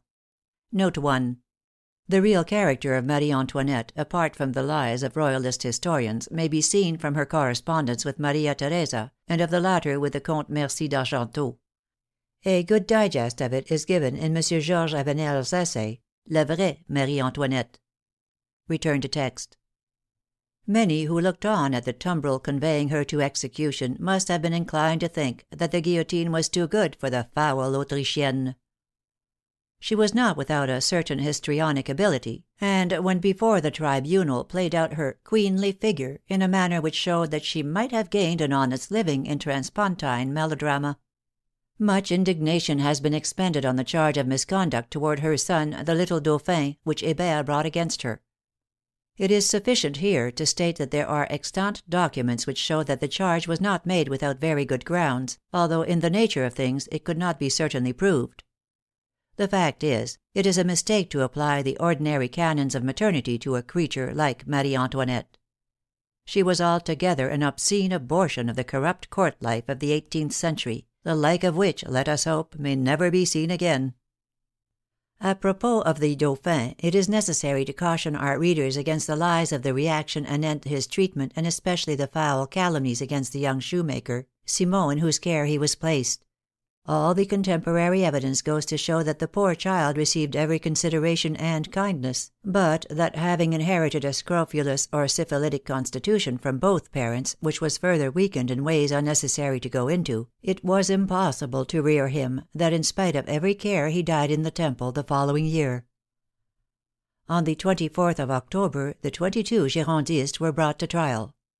They were convicted after five days' proceedings, and guillotined on the 6th. Valaze, one of their number, stabbed himself to death with a dagger on hearing the sentence, but his body was nevertheless sent to be guillotined with the rest. They embraced each other on arriving at the Place de la Revolution, and died singing the Marseillaise. Proofs of their complicity in the insurrection of the departments were complete. They had played for high stakes and lost. Seventy three other Girondist deputies had been for some time under lock and key, having been compromised in some papers found at the house of the deputy whom Charlotte Corday had visited on her first arrival in Paris. With the execution of the twenty two, however, Girondism as a distinct party finally disappears from history. The Girondins, it may here be mentioned, were largely under the influence of Voltaire, just as the Mountain as a party was chiefly under the influence of Rousseau. Meanwhile, Lyons, the last stronghold of Royalism and Girondism, had fallen, and Toulon had been recovered from the English, to whom it had been surrendered. Both towns were visited with a fearful vengeance. Collot d'Herbois, who was a member both of the Commune and of the Committee of Public Safety, acting in conjunction with Couthon, the disciple of Robespierre, ordered wholesale massacres of the inhabitants of the former city in his capacity of commissioner. Billaud Varennes, a colleague of Collot's, was also a leading agent of the Terror. Lebon worked the guillotine at Arras. Freron, the Dantonist, made his holocausts at Marseilles and Toulouse, and Tallien at Bordeaux. At Nantes, Carrier, another commissioner, inaugurated his horrible noyades, or drownings, in which those suspected of Royalism or Moderatism were placed in boats with false bottoms and drowned in the Loire. In some of these cases a man and woman were tied together naked. This was called Republican marriage. The Revolutionary commissioners or proconsuls in some cases traveled from town to town carrying a guillotine with them. All these things were very infamous, it will be said, and so they were. But they were not any worse, if so bad, as the acts of more than one respectable government in '48, of the Czar in Poland in '63, or of the Versaillists in Paris in '71, events which the middle classes have complacently swallowed without indignation. CHAPTER XIX the fall of the Hebertists. After the 10th of August and the events that arose out of it of which he was the heart and soul, Danton had proved something of a failure. His peace negotiations with England had led to nothing, his attempts at reconciliation between Mountain and Gironde had likewise proved abortive. He had played no important part since the 2nd of June in the Convention itself, and finally retired with his young wife for some weeks in disgust to his native town of Arcis sur Aube, whence he returned some time after to join his friend Camille Desmoulins in attacking the system of the Terror. It should be explained that the Cordeliers Club, of which Danton had formerly been the head, had been reconstituted some time since, and was now entirely composed of Hebertists. Camille, at the beginning of December, started a new journal called The Old Cordeliers, which attacked the Terrorists, and especially the Commune, with bitter sarcasm. At first Robespierre approved of the sentiments there expressed, and even looked over and corrected the proofs of the first numbers. It pleased him that the Hebertists were sharply attacked. For the pedantic Rousseauite prig Robespierre was mortally offended with the atheism of the party of the Commune, and had recently been delivering violent harangues against the worship of reason at the Jacobin Club. Robespierre, who was ambitious of being the Washington of France, and had set his mind upon getting himself recognized by the Powers, wished to pose before them as the moderate man opposed to excesses of every description, and thereby to win them over. There was also an old standing jealousy on the part of the Committee of Public Safety with the Commune on account of the influence the latter wielded with the aid of its revolutionary army. Nevertheless, Robespierre's two colleagues on the committee, Billaud Varennes and Collot d'Herbois, were enraged at the idea of even mitigating the Terror, and the notion found but little support generally. Robespierre, whose influence was now immense, became suddenly alarmed lest he should be taxed with moderation, and hence a coolness sprang up between him and his friend Camille and the other Dantonists. Meanwhile the guillotine was working steadily every day, and some noteworthy heads were falling or had lately fallen. Among them we may notice Philippe d'Orleans Egalite, the ex member of the Mountain and the King's cousin, arrested at the time Dumouriez's intrigues with his son became known and decreed accused along with the Girondins, but not convicted till later. In November Madame Roland was also put on her trial. She was condemned, and went to the Place de la Revolution by the side of a poor printer, whom she endeavored to console. Arrived there, she asked for paper and ink to write down " the strange thoughts that were arising within her." Madame Roland was a remarkable woman, but even apart from her politics one is repelled by her perpetual pedantry and posing, and still more by her venomous hatred and malignant calumnies against her opponents. She was an intrigueuse of the first rank, and practically led the tactics of the Girondist party. Bailly, the first mayor of Paris under the new regime, he of the red flag of the Champ de Mars in July, 1791, was one of the executed. Barnave, the Constitutionalist leader in the Constituent Assembly, also suffered. The corpse of the Girondist Petion, who succeeded Bailly in the mayoralty of Paris, was found about this time in a wood near St. Emilion, partly devoured by wolves.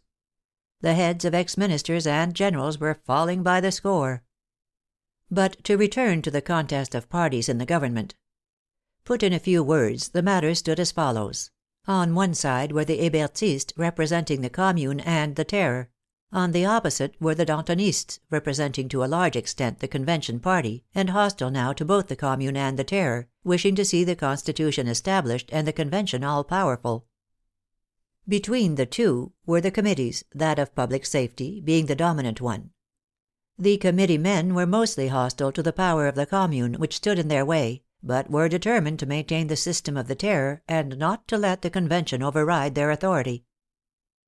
Robespierre, after some hesitation, ranged himself on the side of his committee alike against the Dantonists, with whom he had up till now been friendly, and the Hebertists, to whom he had always been more or less hostile.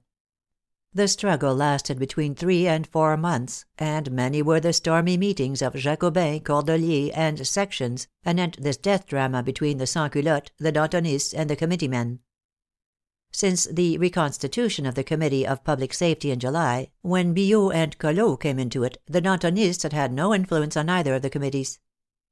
The attack on the Hebertists was begun by the suppression of the revolutionary armies in the provinces, and a decree forbidding the sending of agents into the provinces by the Commune, and this was followed up inside and outside the Convention by concerted attacks on every action of the Commune from the Dantonists, the Mountain, and from the committees. The Jacobin Club continued to be the battleground between Robespierre and the Hebertists. There Robespierre thundered nightly against atheistic intolerance, said that atheism was aristocratic, on the ground that certain aristocrats had been atheists, omitting to recognize the fact that they wished to retain atheism and free thought as an exclusive privilege of their class. He maundered about the necessity of a supreme being as the avenger of injured innocence, and much more of a similar kind. At last the compact between Robespierre and his fellow committeemen, Billaud and Collot, was struck. They were to surrender their old friends the Hebertists, while he was to surrender the Dantonists. A projected insurrection, inaugurated by the section called Marat in favor of the Hebertists, miscarried, owing to the failure to take action at the right moment. Accordingly, Hebert, Ronsin, Vincent, Clootz, Momoro, and others, already expelled from the Jacobin Club, were arrested, and after a mock trial in which they were accused of taking money from the English government to discredit the Republic by their excesses, were on 24th March, 1794, sent to the guillotine. Poor Chaumette's turn came a few days later. A week afterwards Danton, who had come back to Paris at the earnest solicitation of his friends, and had sought ineffectually to compromise matters with Robespierre, was sent before the Revolutionary Tribunal. This was Robespierre's great coup. Danton's personality, combined with his oratory, was nearly securing his acquittal, when Robespierre got a special law hurried through the Convention, which closed his mouth, and he, too, went his way in company with his friends Camille Desmoulins, Philippeaux, Herault de and others to the Place de la Revolution. Thus was the Revolution indeed, like Saturn, devouring its own children.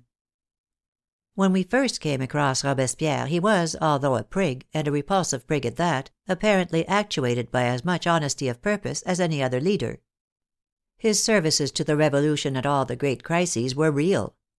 But the germ of ambition and personal self seeking, which was always observable, grew with the progress of events, until at the period we have now reached, he had developed into a monster, actuated by one aim to become dictator, and prepared to make any sacrifice whatever for the accomplishment of that aim. The murder of friends like Danton and Desmoulins, with whom he had lived and worked on terms of close intimacy since the beginning of the Revolution, yields to nothing in history for its treachery and infamy. End of chapter 16 through 19. Chapter 20. The Rule of Robespierre. The old Commune was now overthrown, and all independence stifled in the Convention. No initiative remained but that of the Committee of Public Safety, and in the Committee itself little, at least in internal affairs, but that of Maximilian Robespierre and his partisans. The chief among the latter were Couthon and Lebas in Paris, and St. Just and Lebon as commissioners in the provinces. The municipality, now that most of the old members were guillotined or expelled, was filled up with subordinate creatures of Robespierre. A Belgian architect named Fleuriot Lescot replaced the devoted and noble minded Pache as mayor of Paris. The same thing went on all round. The Cordeliers' Club was suppressed. Robespierre had succeeded in reducing the Jacobins' Club to a mere claque of his own. The Convention was not much better. A look from the Incorruptible, as Robespierre was called, sufficed to frown down on all opposition. The increase of the Terror now became frightful all over France, but especially in Paris. Robespierre himself directed the police department. On the 22nd of Prairial, the 10th of June, an atrocious law was passed at the instigation of the dictator, whereby persons sent before the Revolutionary Tribunal, now divided into four sections, were refused the right of defense.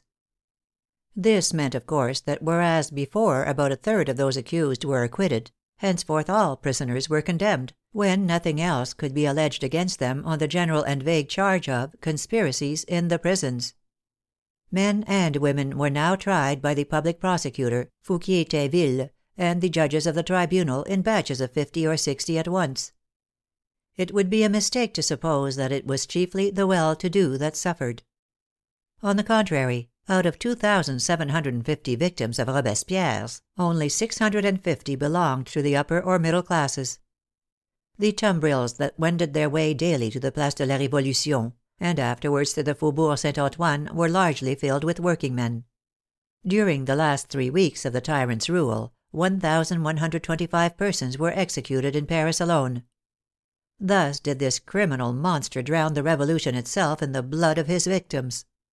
Marat had already foreseen the results of Robespierre's self idolatry when during a speech of the latter in the Convention, he whispered to his neighbor, Dubois Crance, " With such doctrines as that he will do more harm than all the tyrants put together." The notion of becoming the high priest of a new religion had been working in Robespierre's mind ever since the fall of the Hebertists. After many speeches in the Jacobin Club on the 18th of May, Maximilian at last mounted the Convention tribune to demand that it be decreed that "the French people recognizes the existence of a Supreme Being and the immortality of the soul," and that a festival should be held in honor of the said being. In his speech he dwelt on the distinction between a pure deism and the superstitious cults of priests, said that it mattered not whether the existence of God were demonstrable or even probable, that in the eyes of the legislator all is truth which is useful in the world and in practice, that a god was an indispensable article of state furniture, and much more to the same effect. Deputations from the new Robespierreized Commune, from the Jacobins, and from the sections, next filed in with the petition that the Convention should vouchsafe to grant them a god and immortality. The resolution was carried amid thunders of applause in the same Convention which six months previously had applauded the atheistic worship of reason. A few days afterwards one undoubted and another more questionable attempt at assassination was made. The first on Collot d'Herbois, on the steps of his house; and the second on Robespierre himself, by a young woman named Cecilie Renault. Robespierre was out when she called, but she was arrested, and knives were found in her possession.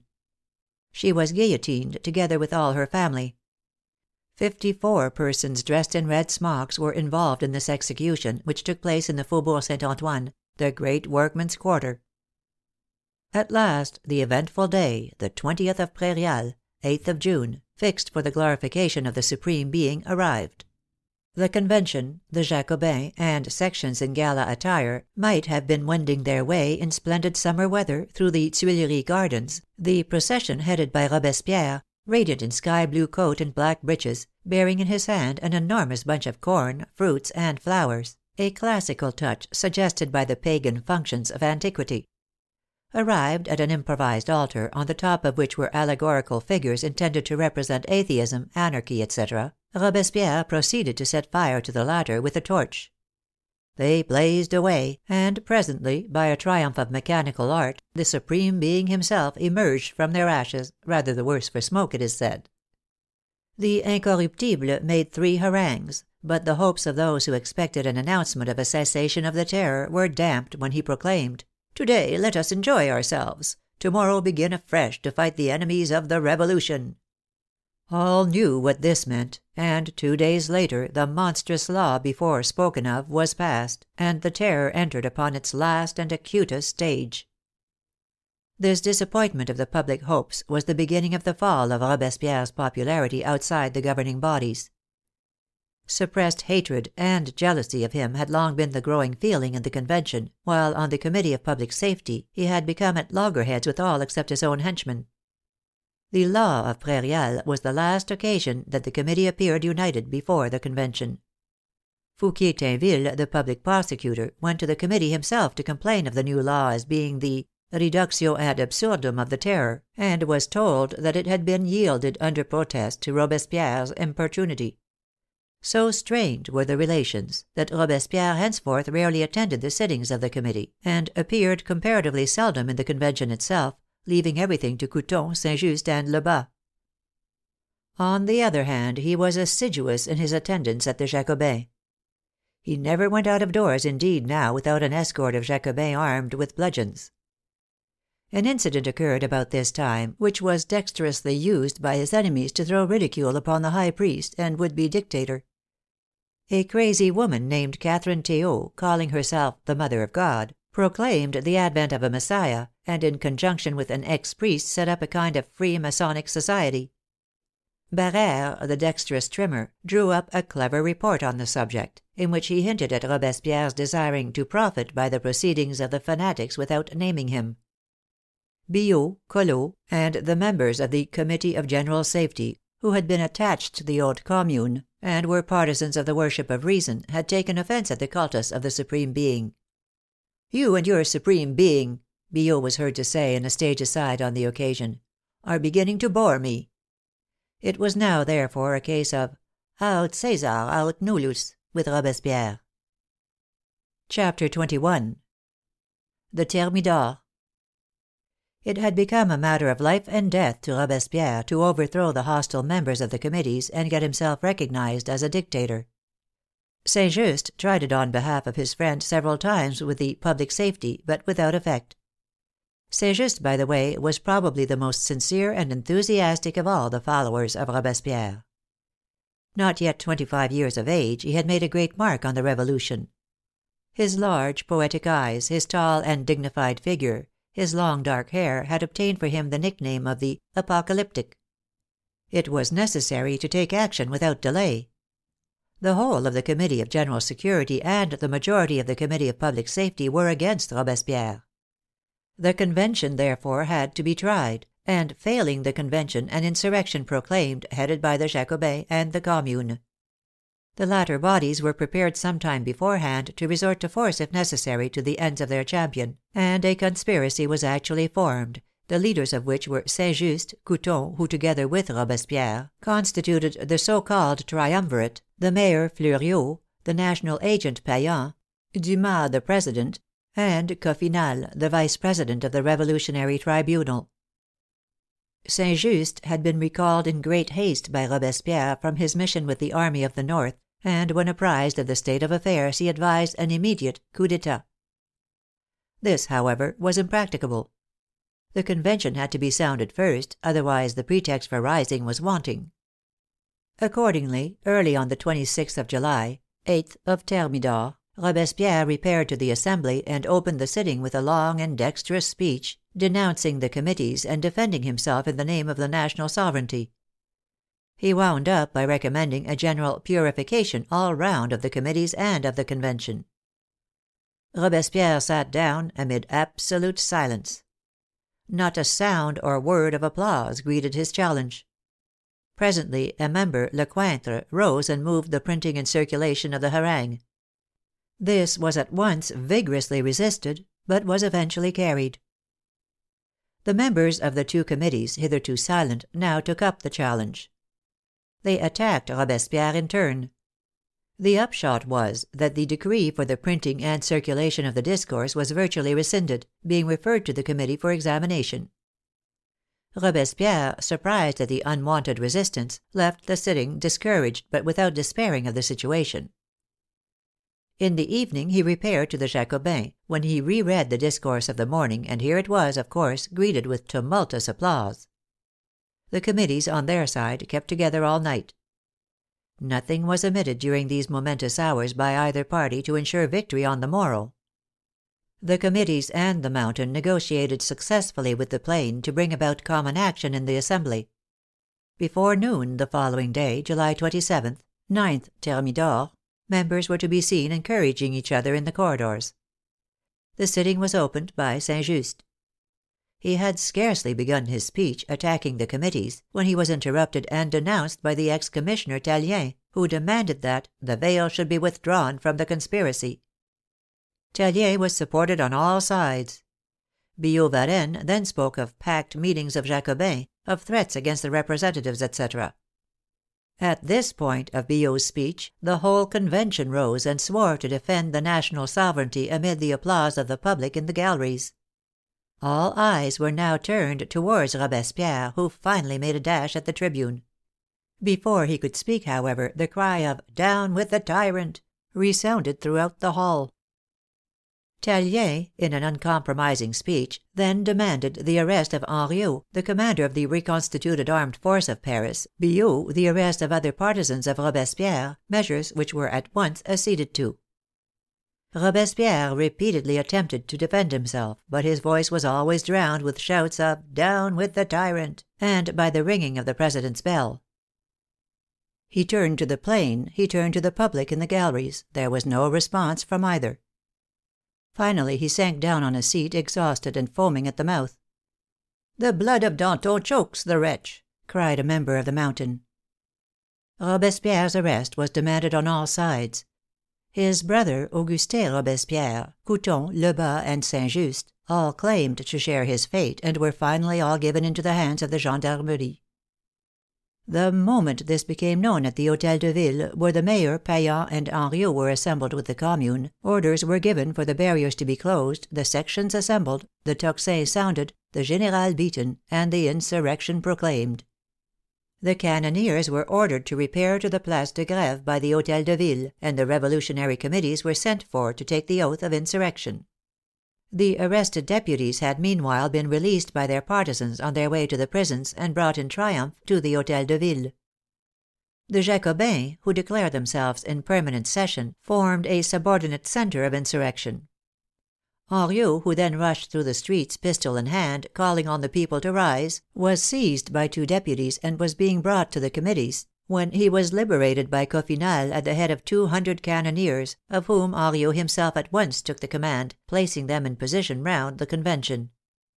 The Assembly, which had adjourned for a couple of hours, had now reassembled. It was seven o'clock. " Citizens," said the President, " now is the time for us to die at our post." Affairs did certainly look hopeless for the Convention.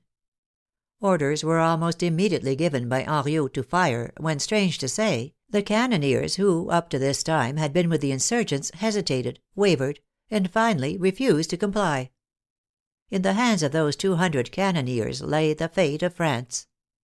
Henriot hurried off to the Hotel de Ville. It was now the turn of the Convention to take the aggressive. The response of the sections to the call of the Commune was not altogether satisfactory. The fact is, the movement of the last two days had been sudden even for Paris, and had developed out of a quarrel inside the Government, with which the general public were imperfectly acquainted. Besides this, Robespierre's unpopularity had now become general. Though the sections assembled at nine o'clock, they confined themselves to sending messages to the Commune asking for further information. While the assembled sections were discussing the matter in the various wards of the city, delegates from the Convention arrived apprising them of the real position of affairs. They now no longer hesitated, but arming themselves, immediately proceeded, not to the Place de Greve, but to the Tuileries, where they were naturally received with great enthusiasm. A small body, with a few pieces of artillery, having been left as a guard to the Convention, the remainder then marched off to attack the head center of the insurrection, the Hotel de Ville. The crowds which had assembled outside at the sound of the tocsin had gradually dispersed, finding the sections did not arrive and the space was now much thinned. Emissaries from the Convention proclaimed the outlawry of the insurgents upon which all that remained went home. The armed sections now arrived from the Tuileries, occupied all the outlets, and set up a prolonged shout of " Long live the Convention !" The insurgents saw at once that all was lost. Robespierre shot himself, but only succeeded in breaking his jaw. His brother threw himself from the third story. Lebas killed himself with a pistol. Couthon mangled himself with a knife. Coffinhal pitched Henriot from the window into the common sewer and managed to escape. St. Just alone awaited his fate with dignity and calmness. It was now about one o'clock in the morning. The conspirators were conducted first to the Committee of General Security. Robespierre lay on a litter suffering horribly, exposed to the jeers and taunts of the bystanders, who upbraided him with all his crimes. They were afterwards taken to the prison of the Conciergerie, and brought up thence the next day before the Revolutionary Tribunal, with others of their associates. They were of course condemned, and were executed the same evening at six o'clock. Immense crowds, hooting and jeering, thronged the streets to see the tumbrils as they passed. Uncomplimentary references to the Supreme Being, and to the prospective immortality of Robespierre's soul, were not wanting. A halt was made before the house where Robespierre had lodged. All eyes were turned on him in his Supreme Being blue coat, and the jeers and invectives grew louder. The sullen hatred which had been growing for weeks past suddenly found vent. At the time of his fall he probably had scarcely two or three hundred real followers in all Paris. Instead of mitigating or abolishing the Terror at the moment, when the danger of invasion being past, it had no longer any solid backing in public opinion, he had chosen to exacerbate it, only too obviously for his own ambitious purposes. Thus he speedily degenerated from the most popular to the most hated man in all France. The battle of Fleurus on the 26th of June had secured for France the reconquest of Belgium, and destroyed the last remaining chance of foreign invasion; and hence, all but the blind followers of the system were determined to be rid of the Terror, the national extremity which gave rise to it having passed away. Robespierre was the last to ascend the scaffold. As Sanson the executioner wrenched off the bloody linen which bound up his jaw, a horrible yell escaped him. This was the only sign of life since his arrest. The moment his head fell, a roar of applause which lasted some minutes resounded far and wide on the evening air. Such was the celebrated revolution of Thermidor. CHAPTER XXII The reaction begins It is plain to us now that the fall of Robespierre meant the end of the Terror, although the partisans of the system on the committees could not see it. The Billaud Varennes, Collot d'Herbois, and Barere thought still to carry on the proscriptions with the other methods of revolutionary government. They lost influence every day. The Terror was at once abolished, except for the tail of Robespierre, the members of the Commune, some of the leading Robespierrists, Jacobins, etc., who were guillotined to the number of some hundred and fifty in a few days. In the relief which Sansculotte, like the rest, felt at being rid of the perpetual Damocles sword of Tinville, and of the endless rant about virtue, austerity, incorruptibility, with which Robespierre and his crew had sickened every one, they little thought that the end of the Revolution itself, in so far as it interested the working classes of France, was at hand. In truth, the reaction had begun four months before, with the destruction of the party of the old Commune, the Hebertists. When a revolution proceeds to exterminate its most enthusiastic adherents its fate is obviously sealed. Robespierre had denounced the Hebertists as atheists and communists. To the inventor of the " Supreme Being " and the Declaration of Rights which was foisted upon the Jacobins in opposition to Chaumette and Hebert, and according to which the right of property is the right of every citizen to enjoy and dispose as he pleases of his goods, which provided also that " no commerce should be prohibited, and no property ever confiscated even for public purposes, without indemnity," to such a one the Hebertists were offensive without a doubt.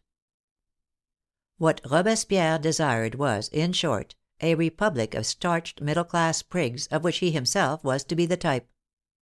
The Hebertists, especially men like Chaumette and Anacharsis Clootz, whatever their faults may have been, at least desired a change better worth fighting for than this. Their instincts were socialistic, though their ideas may have been vague, as they could scarcely fail to have been a century ago, when the " great industry " had hardly begun. As to the Terror, Robespierre substituted for the irregular methods of the Commune a systematic plan of butchery, which enabled him to rid himself conveniently of personal enemies. Still, even Robespierre, in spite of their contradicting the free trade principles he had laid down, did not dare to suggest abolishing the maximum and other measures passed under the influence of the Commune, for insuring a possible livelihood to the working classes. This it was reserved for the Thermidorians to do. The committee men had accepted the aid of the Convention in overthrowing Robespierre and his party. They soon found that the Convention was as determined to rid itself of the dictatorship of the committees as the committees themselves had been that of Robespierre. The very next day the committees began to be attacked. The abolition of the Revolutionary Tribunal was proposed. Barere, who spoke in its support, was taunted with having been a constitutional royalist before the loth of August. The Convention, nevertheless, confined itself this time to issuing a decree of accusation against Fouquier Tinville, and abolishing the law of Prairial. The committees themselves were next reorganized and their power curtailed. The Paris Commune never again rose after its second defeat under Robespierre. The old suspects were gradually released from prison. But the reaction did not stop at abolishing the Terror. It began at once undoing all the sansculottic work of the Revolution. First, the daily meetings of the sections were reduced to one in ten days. Next, the allowance of twenty sous a day for indigent members was done away with. Next, the maximum was abolished. The commissioners Lebon and Carrier, the author of the Noyades at Nantes, were now tried. Most of the old members of the committees shortly after this either resigned or were ousted, and their places were filled with Thermidorians. Freron, the ex Mountainist and now Reactionist, started a paper in which he proposed that the youth of the upper and middle classes should arm themselves with loaded sticks to resist the Sansculottes. The suggestion was eagerly adopted, and a new and fantastic dress was assumed as a counterblast to the Carmagnole costume of the popular party. An open breasted front, long hair, done up behind in tresses, called cadenettes, and low shoes, formed the costume a la victime of the Jeunesse Doree (Gilded Youth), as they were called. Every day street fights took place between them and the Jacobins. The latter, though they had undergone one of their customary purifications after the fall of Robespierre, and had duly sent a deputation congratulating the Convention on the death of the " tyrant," found themselves daily getting into worse odor with the dominant party. The Convention before long broke up the vast federation of clubs, of which the Paris Jacobins were the head by arbitrarily forbidding any further correspondence between the centre and the provincial branches. The Assembly at the same time declined to receive any further deputations. Nevertheless, the club was still the rallying point of every revolutionary influence in Paris. An attempt was made to liberate Carrier, which, although unsuccessful, gave rise to a formidable disturbance, and led to the suspension of the Jacobin sittings by the Convention. The members assembled the next day notwithstanding, in defiance of the decree, but the meeting place was attacked by the " Gilded Youth," and the Jacobins driven out. The Convention thereupon suppressed the club altogether (Nov. 12). The Thermidorian party at first wanted a revolutionary reputation to counterbalance that of Robespierre, and chose Marat, who, owing to the jealousy of the former, had not as yet received the honors of the Pantheon, which the Convention had granted after his death.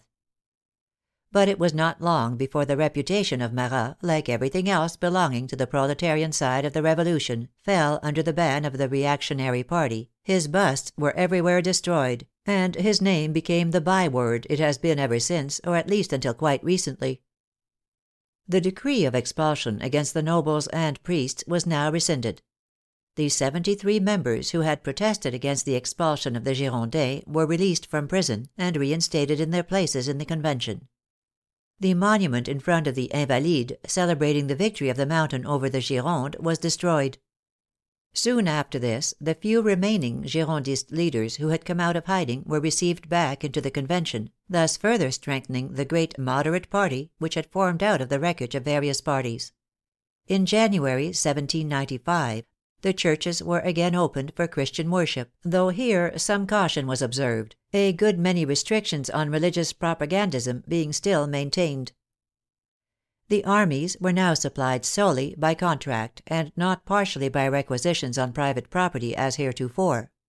The confiscated goods of suspects and of those executed during the Terror were restored in the first instance to themselves, in the second to their nearest relations. CHAPTER XXIII the reaction progresses. The reaction was daily growing in intensity. The fury of the new White Terror in Paris had reached other leaders than Carrier and Lebon, both of whom had been guillotined. These other leaders were our old friends Billaud Varennes, Collot d'Herbois, and Barere, together with another committee man, Vadier. A demonstration in their favor, organized by the workmen's faubourgs of St. Antoine and St. Marceau, availed nothing. On 21st March (1st Germinal) they were brought before the Convention, and the proceedings lasted nine days. Though gallantly defended by the wreck of the Mountain, they were like to be condemned, when once more the loyal workmen's quarters made an attempt to rescue them, and stormed the Convention to the cry of " Bread and Constitution of '93, and the liberty of the patriots." This, too, proved abortive. Yet possibly fear of popular resentment prevented the Convention from passing a capital sentence this time. It confined itself to condemning the accused to transportation to Cayenne, where Collot took the yellow fever, drank off a whole bottle of brandy, and died; and Billaud amused himself with breeding negroes and tame parrots. The turn of Fouquier Tinville and the jurymen of the Revolutionary Tribunal came next. They were condemned and executed early in May. Where are now thy batches?" mockingly exclaimed some of the crowd as Fouquier mounted the scaffold. Wretched canaille," replied he, is your bread any the cheaper for not having them?" In truth, the economic situation was fearful. The abolition of the maximum and the forced currency produced a terrific crisis. The value of 5,000 francs in paper (assignats) sank to 20 francs in silver or gold. Forestalling, swindling, and extortion of every kind had a high time of it. Never before had starvation claimed so many victims as now. Death by the guillotine was succeeded by death from hunger. The crowds at the bakers' doors were worse than ever before the Revolution. Bitterly did St. Antoine and St. Marceau look back on the time when, under the Commune and the Committees, they had a sufficiency and power. The last of the popular insurrections (unless we include the abortive Baboeuf conspiracy as one) took place on the 20th May (ist Prairial) of this year 1795, and was a well organized and determined movement, but lacked leaders and staying power, and consequently fell through. The chief demands were still "Bread, the Constitution of '93, the release of all imprisoned patriots." The Faubourg this time marched fully armed upon the Convention, which was taken by surprise, the daily recurring disturbances having hidden from it the fact that an organized insurrection was brewing. The doors were forced, and the Sansculottes rushed in. At first repulsed, they returned in greater numbers. They fired at the President, Boissy d'Anglas. A deputy, Feraud, who rushed forward to protect him, was cut down by sabres, and his head fixed on a pike. All the deputies now fled, except those forming the rump of the old Mountain, to the number of about sixty. Romme, he of the calendar, now took the chair, and all the demands of the insurgents were put and carried in rapid succession.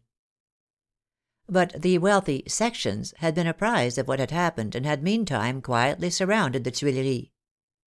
Finally a drilled body of jeunesse doree suddenly burst in, and drove out the insurgents in confusion at the point of the bayonet. The deputies re entered. All the decrees just passed were annulled. The members of the Mountain were arrested as accomplices of the insurgents and secretly conveyed away from Paris. But the Sansculottes did not consider themselves beaten. Next day they again assembled in the outer faubourg, and proceeded to march on the Convention, this time taking their cannon with them. The inner or wealthy middle class sections were also drawn up in arms on the Place du Carrousel in defence of the Assembly. The cannon of the faubourg was already pointed on the Tuileries, when the Convention sent commissioners to treat with the insurgents. There was a pretence of favorably receiving their demands, but nothing was definitely promised. This sufficed, however, to put the Sansculottes off their guard. Not having an energetic Commune and a determined commander at their back, as on the 31st of May, 1793, they retired satisfied with some vague conciliatory phrases, a course proving fatal to the insurrection which, at the opening of the day, had stood a fair chance of success, and fatal also, as the event showed, to the cause of the democracy. A few days later the assassin of Feraud, who had been tried and condemned to death, was on his way to execution when the populace delivered him and carried him in triumph into the Faubourg. The Convention then ordered the latter to be disarmed. The interior sections surrounded the working class quarters the next day for the purpose of carrying out this decree. After some resistance it was effected. The faubourgs surrendered unconditionally, with their arms and cannon. The Paris working classes were now reduced, therefore, to the condition of an unarmed mob, and for them organized insurrection was a thing of the past. Royalism became again fashionable. It was openly advocated in newspapers and in public assemblies, and even inside the Convention itself, though here it remained in a minority. Meanwhile, the " White Terror " was raging in the provinces far worse than in Paris. The South especially became the scene of wholesale massacres of all supposed to be friendly to revolutionary principles. Bands of returned emigrants and wealthy young men called Companies of Jesus and Companies of the Sun went about killing every revolutionist or suspected revolutionist they could find.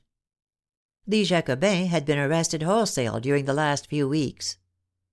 The prisons were broken in two, and every Sansculotte massacred.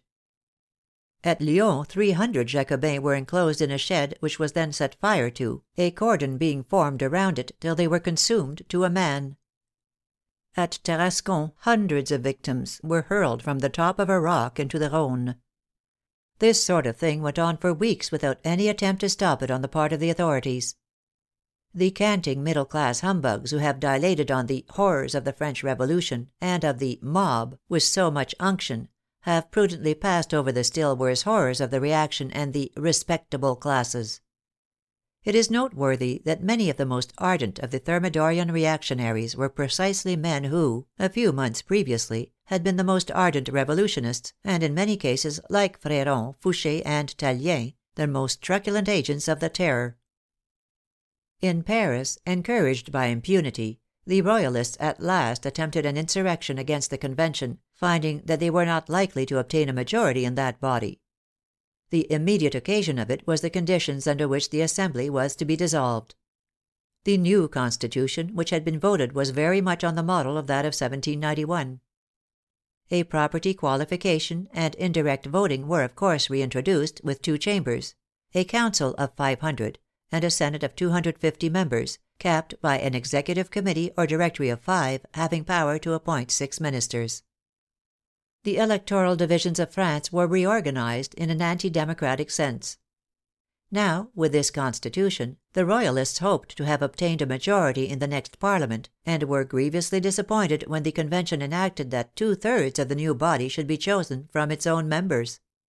Hence the tears of the Royalists, and hence the insurrection of the wealthy and well armed Royalist section against the Convention on the 5th October, 1795, 13th of Vendemiaire III, the task of quelling which was entrusted by Barras, the generalissimo of the Convention, to a young artillery officer, Napoleon Bonaparte by name, a task the said young artillery officer duly accomplished by the aid of well planted cannon on the evening of the same day.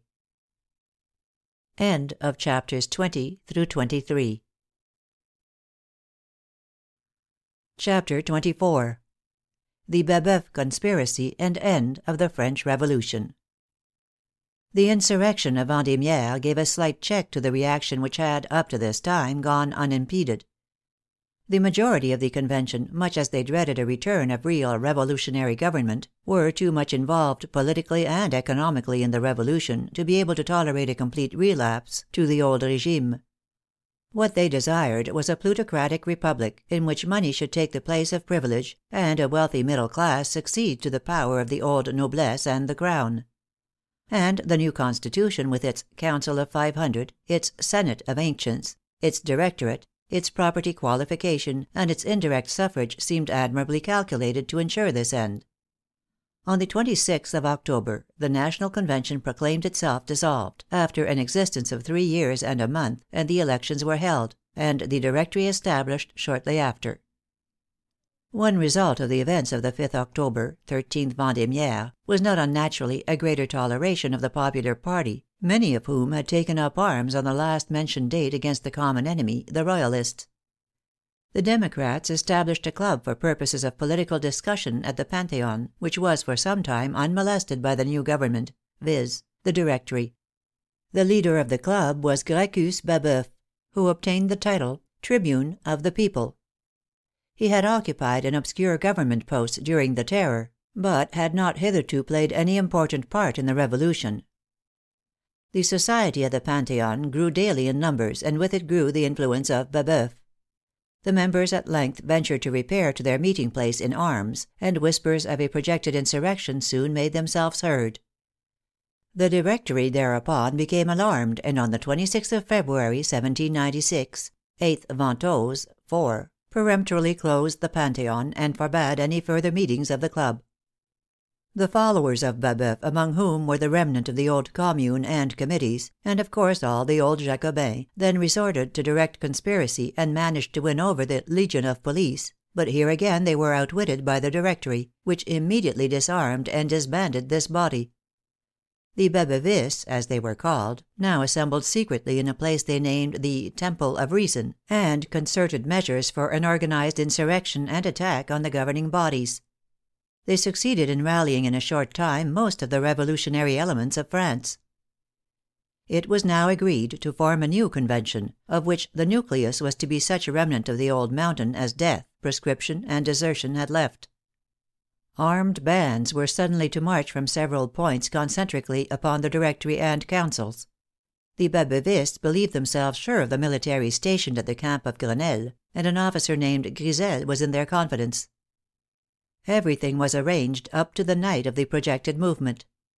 Two placards were about to be posted up, one bearing the words Constitution of 1793, Liberty, Equality, and General Happiness, the other the motto those who usurp supreme power ought to be put to death by free men, and the signal was agreed upon for action, when the chiefs were suddenly surprised and arrested in their council chamber, May 10th.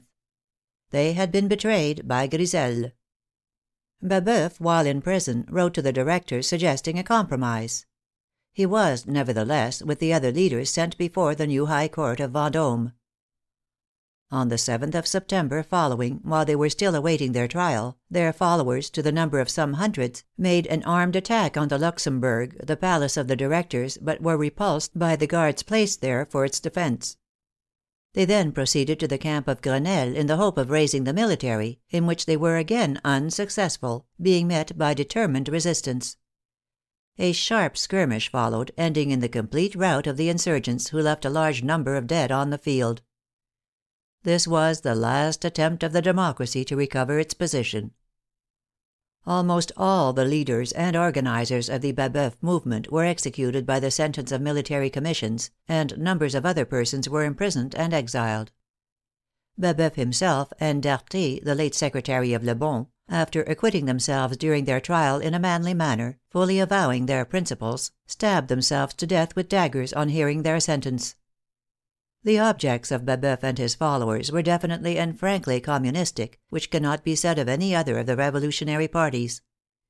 Baboeuf himself, who by the side of Marat, Chaumette, Clootz, and Pache, may be regarded as one of the noblest and most disinterested of all the leaders of the time, if in his theoretical scheme he was the first of the Utopian Socialists, also forestalled in his notion of the necessity of taking possession of the political power, one of the foremost principles of the modern Socialist movement.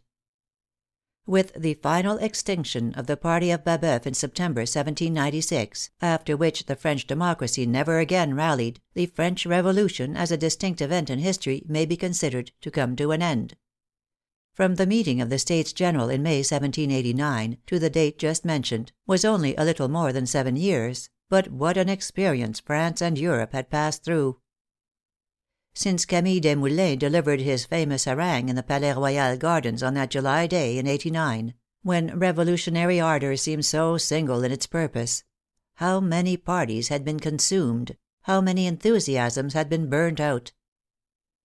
With the forlorn attempt of the Baboevists on Grenelle, revolutionary fervor gasped its last breath. The bourgeois had conquered; the day of the proletarian was not yet, in spite of his temporary accession to power during the great revolutionary years. The events succeeding the collapse of the Baboeuf movement may be signalized in a few sentences. The populace of Paris and the other large cities gradually settled down into a private life of toil and hardship, and an indifference to public affairs. The wealthy classes plunged into every form of speculation and extravagance. The new middle class republic became apparently every day more consolidated. It flourished at home under the Director Barras and his colleagues, of whom Carnot was one, and abroad under its new general, Bonaparte. Conquest again followed conquest. New republics on the model of the French sprung up like mushrooms in Holland, Liguria, Lombardy, Sardinia, Switzerland, etc. The fresh elections in May, 1797, nevertheless yielded a Royalist majority in the councils, the upshot of which was that Barras and the majority of the directors by the following September, when things had come to a crisis, had to call in the aid of the army under General Augereau to overawe the legislature. This succeeded, and a large number of members, including some Arras of the old Dantonist party, were exiled on the ground of Royalist intrigues to overthrow the Republic. Carnot and Barthélemy were driven from the Directory. The latter now became practically a dictatorship, with Barras as head dictator. Most of the powers, tired of prosecuting an adverse war, were glad to make terms of peace. England was soon the only belligerent remaining. But the Directory, without money, and having only the armies to fall back upon, could not afford to bring about a complete cessation of hostilities. Bonaparte, after having subdued the Continent, about this time returned to Paris, the most popular man in France. Barras, feeling his presence dangerous at home, invited him at once to undertake the task of subduing the British power. He readily acceded, and the brilliant Egyptian campaign entered upon with a view to India was the result. The elections of 1798, which were, unlike those of the previous year, too radical to please the Directory, were annulled, but those of the following year, 1799, yielded the same result. Meanwhile, a new coalition had been formed, one of the principal factors of which was Russia. The unpopular Directory could no longer hold out against public opinion. Negotiations between the various parties were entered into without issue, and the government at home was in great confusion when Bonaparte suddenly appeared on the scene, having left his Oriental army in the hands of General Kleber. A conspiracy was at once formed, led by the old constitutionalist Sieyes, to place dictatorial authority in the hands of the successful general. The Senate, seduced by the report of a pretended Jacobin insurrection in the departments, which was to shortly reach Paris, consented to decree the removal of both houses of legislature to the palace of St. Cloud, near Paris, and to placing Bonaparte at the head of the military forces of the capital. This was on the 9th of November, 1799, 18th Brumaire, 7. The following day the legislature removed to St. Cloud. The Council of Ancients met in the Gallery of Mars, one of the apartments of the palace, and the Council of Five Hundred in the Orangery. the Council of Five Hundred unanimously swore to the existing Constitution, refusing to ratify the powers given by the other body. Bonaparte was driven away with cries of " Down with the tyrant," etc. His brother, Lucien Bonaparte, who was President, finding nothing was to be done, came out and harangued the troops, stating that the Assembly was being intimidated by a minority of the members with drawn daggers. Bonaparte, thus fortified, then gave orders for the Orangery to be cleared by the military, which was immediately effected. Thus was the Consulate founded. From this to the consecration as Emperor in 1804 was but a step. CHAPTER XXV THE NATIONAL PROPERTY The course of the Revolution cannot be properly estimated without taking into consideration the results of the confiscation of the property of the nobility and clergy. In the Directoral Constitution of 1795 (No. 3) we read Article 374 :" The French nation proclaims, as guarantee of public faith, that after an adjudication legally consummated of the national goods, whatever may be its origin, the legitimate acquirer thereof cannot be dispossessed." The same clause, but slightly modified, is introduced into the Consular Constitution of 1800 (No. 8) and the Imperial Constitution of 1804 (No. 12). There is more than meets the eye in these articles. They are the issue and sanction of a series of transactions which established a wealthy plutocracy on the ruins of the old feudal aristocracy of France. The first property to be sold was that of the Church. This, which in a sense may be considered as having been held in trust for the poor, was primarily disposed of, not to benefit them, but to reduce the public debt and preserve the State from financial ruin. The sales began in 1789, and the period of greatest activity was from August, 1790, to January, 1791. French companies, English companies, Dutch companies disputed for the spoil, only a comparatively few lots falling to the share of the peasantry, since no restriction was laid on the amount sold to any one purchaser. The sales were the more easily effected, inasmuch as only a small percentage of the purchase money had to be paid down. When the time came for the second installment, the money for payment was, naturally, considering the vast extent of the purchases, in most cases not available. This led many of the speculators to favor the Revolution, and all of them to urge on the foreign war, both of which would serve as an excuse for postponement. War was accordingly proclaimed in April, 1792, and the following August the throne was overturned.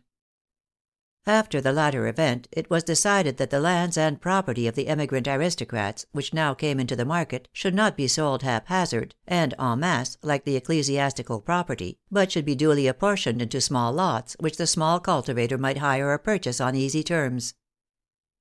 This concession on the part of the middle classes was, however, simply the result of fear of imminent foreign invasion. No sooner had the armies of Dumouriez driven the enemy back than the new Assembly, the Convention, announced that the partition of the public lands must be indefinitely postponed on account of the difficulty of the operation.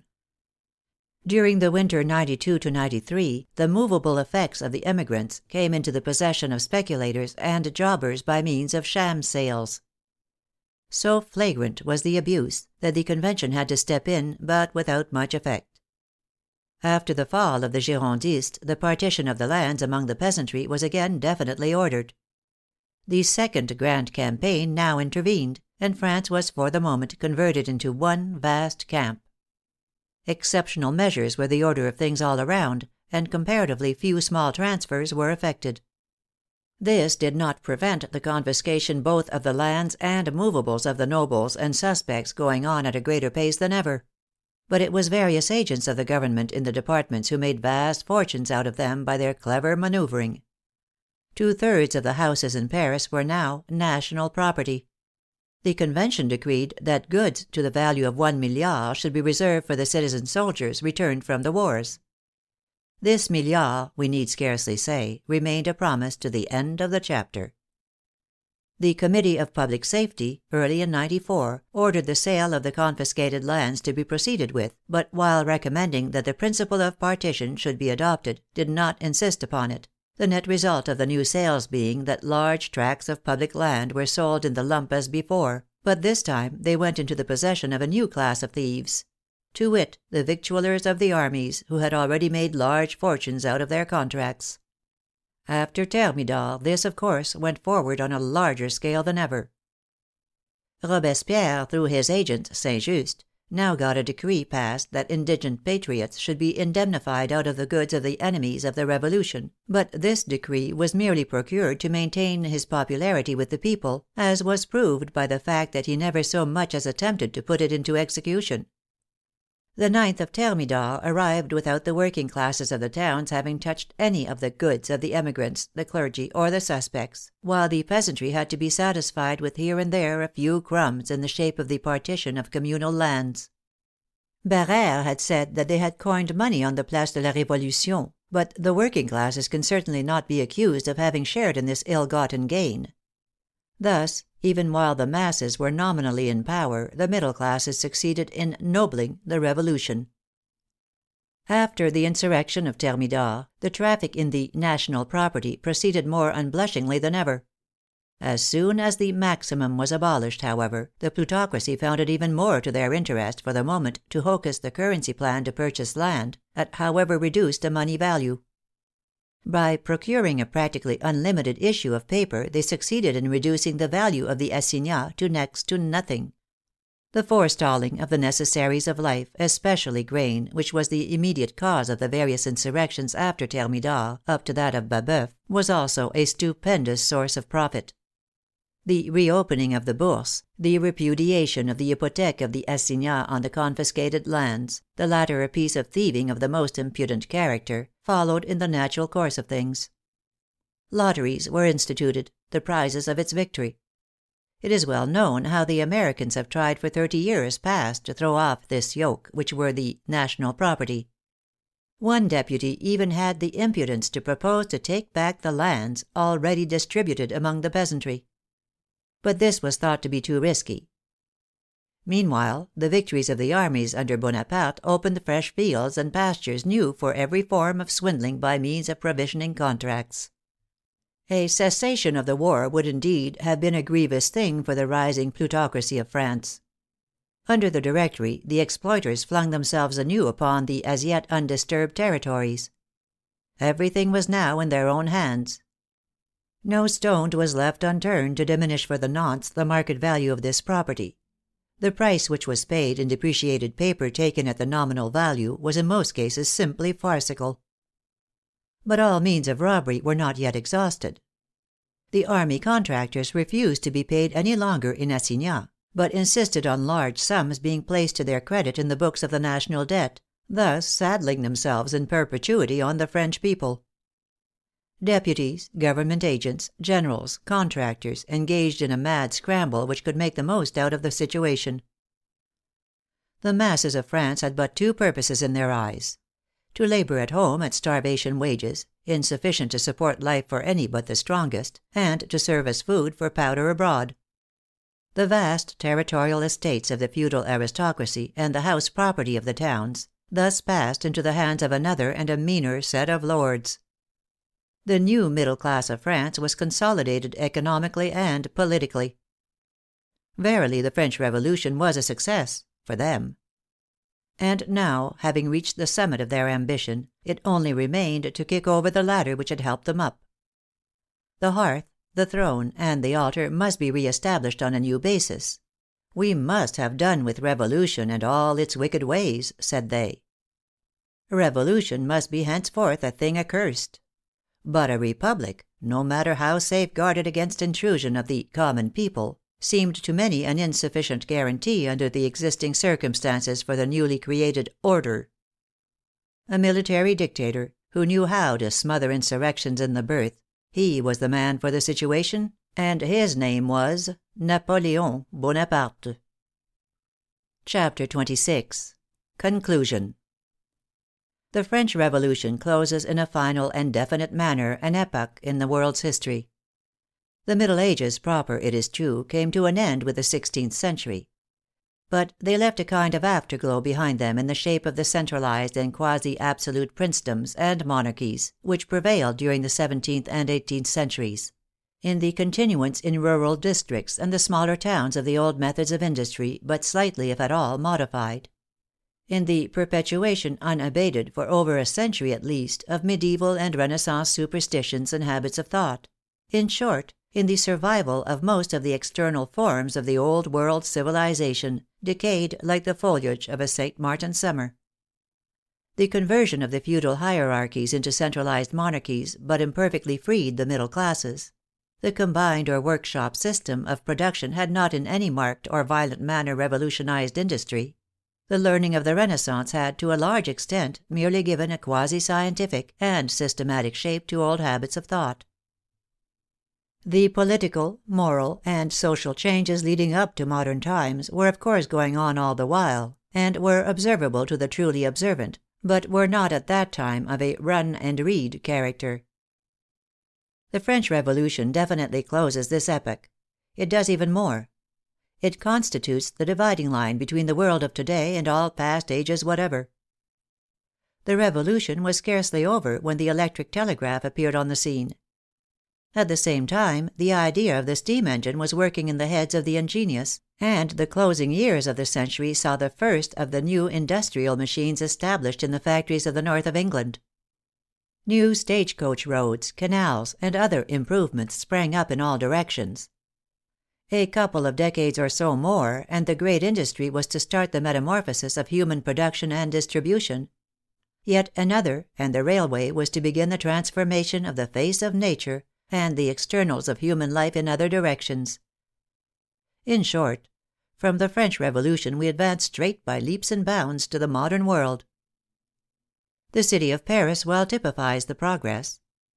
One hundred years ago, in 1789, it was, unlike London, which in its medieval form was destroyed by the fire of 1666, to all intents and purposes a medieval city, substantially the Paris of Victor Hugo's Notre Dame, a city of feudal fortresses, high walled enclosures, crooked, narrow, unpaved streets. The Committee of Public Safety in 1793 began alterations, partly with the view of giving employment to distressed workmen. The changes went on gradually till, in 1859, Haussmann, under Napoleon III, totally destroyed what remained of old Paris, and laid out the city in the form we see it to day a city which would be as foreign to Danton, Robespierre, or Marat as San Francisco itself. The Paris of centuries perished in little more than fifty years. What is true of Paris is true of Europe, of the whole of existing civilization. The Europe of 1789 was in the main the Europe of the later Middle Ages, of the Renaissance, but in the last stage of decay. It had been practically dead for over two centuries, and, like Edgar Poe's hypnotized dead man, it fell to pieces with a sudden convulsive awakening after proclaiming itself dead. No "restoration" could really bring it together again.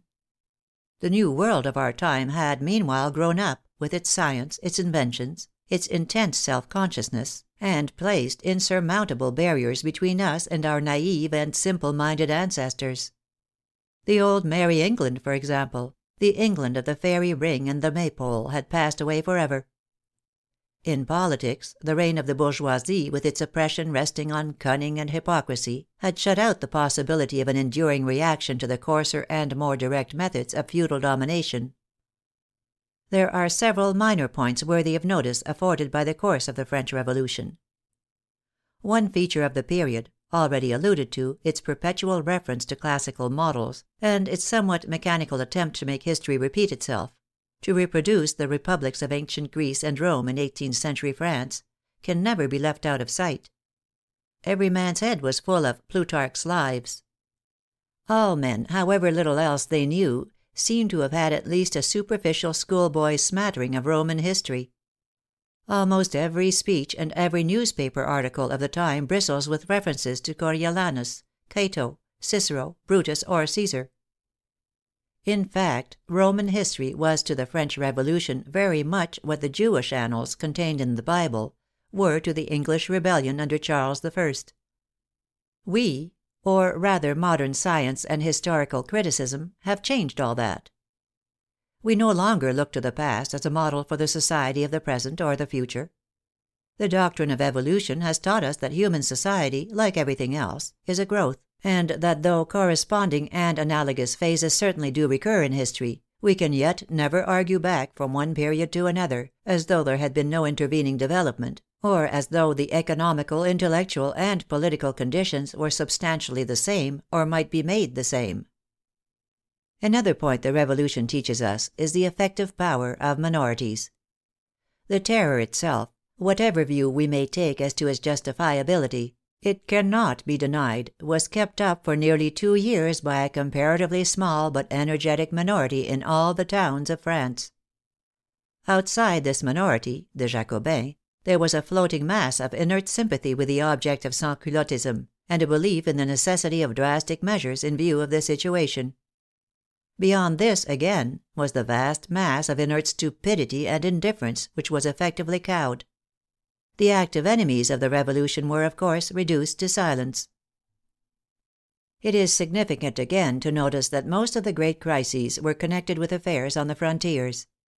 The 10th of August and the September massacres were the response to Brunswick's manifesto, and the march of the enemy on the capital respectively. The 31st of May was directly brought about by the invasion of the new coalition, and the disorganization of Dumouriez's armies consequent on his defection. Finally, the 9th of Thermidor and the abolition of the Terror followed on the disappearance of the last trace of danger from the foreigner consequent on the battle of Fleurus. The extraordinary enthusiasm which we find, the reckless readiness of all alike to inflict and to suffer death, might lead us to suppose the men of the time to have been a race of born heroes or monsters, or both. The average of them were neither the one nor the other. They were the products of social forces beyond their control.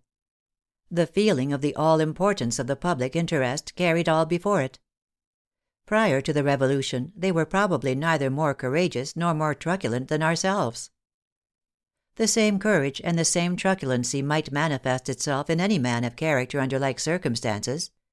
Even Robespierre was, as Carlyle suggests, probably neither better nor worse than other attorneys to start with but in his case ambition ultimately assumed the mastery over his whole personality. This was partly owing to the fact that he was undeniably a man without a vice, in the ordinary sense of the word. Now only very exceptional men can afford to be without the ordinary vices of mankind, and Robespierre was certainly not one of these men. With his ascetic Rousseauite notions of republican austerity, he had suppressed his natural appetites, the consequence being that all the morbid elements in his character, having no other outlet, ran into the channel of self idolatry and morbid ambition. The first condition of a well regulated man is to know how to properly distribute the quantum of vice with which a bountiful nature has endowed him. A false morality teaches him to suppress it. But this he can seldom do, and if he succeeds, it is at the expense of all or much that is distinctive in his character. In tearing off the coating of vice, he tears off his skin with it. The usual case, however, is that the vice is not got rid of at all, but only forced into some out of the way channel. And whatever vice is concentrated, it is bad. When all the vice of a character is focused on any single one of the natural appetites, a man becomes a sot, a satyr, a glutton, a confirmed gambler, etc.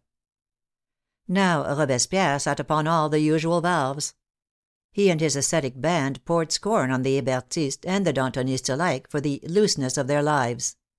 But having closed up all the ordinary exits, his vice came out none the less, but concentrated in the form of a truculent, remorseless ambition unparalleled in history. The rank and file of the actors in the Revolution it is difficult, for the reasons before stated, to characterize by any of the ordinary ethical standards. The best of them did things we cannot always approve while sitting comfortably in our chairs, the worst of them showed much genuine and disinterested devotion to the cause of the people. Were we called upon to name the five men whose aims were probably the purest, we would mention Marat, Chaumette, Clootz, Pache, and Baboeuf. Danton, apart from the disputed question of his bribery, was a mere politician, who only interested himself in social questions, when at all, in so far as they immediately affected the political situation. The issue of the French Revolution was, as we have seen, the modern world of great capital and free trade, as opposed to the old world of land and privilege, and all that that change implies. In the storm and stress of outward events we are apt to forget the work done during the Terror era by the committees of the Convention — administrative, educational, and legal work which helped to build up the modern governmental system. The Code Napoleon itself was based on the labor of Merlin de Douai and his committee. In France the political and juridical side of the great change was most prominent; in Germany, the philosophical and literary; in England, the industrial and commercial. While French politicians were engaged in establishing the Republic, German thinkers were engaged in founding nineteenth century thought, and English inventors in establishing the new modes of production and locomotion. But while the medieval organization of society held together for centuries, the modern is already showing signs of approaching disintegration. Why is this? We answer, because the latter contained, from the first, in its very nature, the seeds of dissolution. The capitalistic system of necessity feeds upon itself. Competition, which is the breath of its life, necessarily also destroys that life.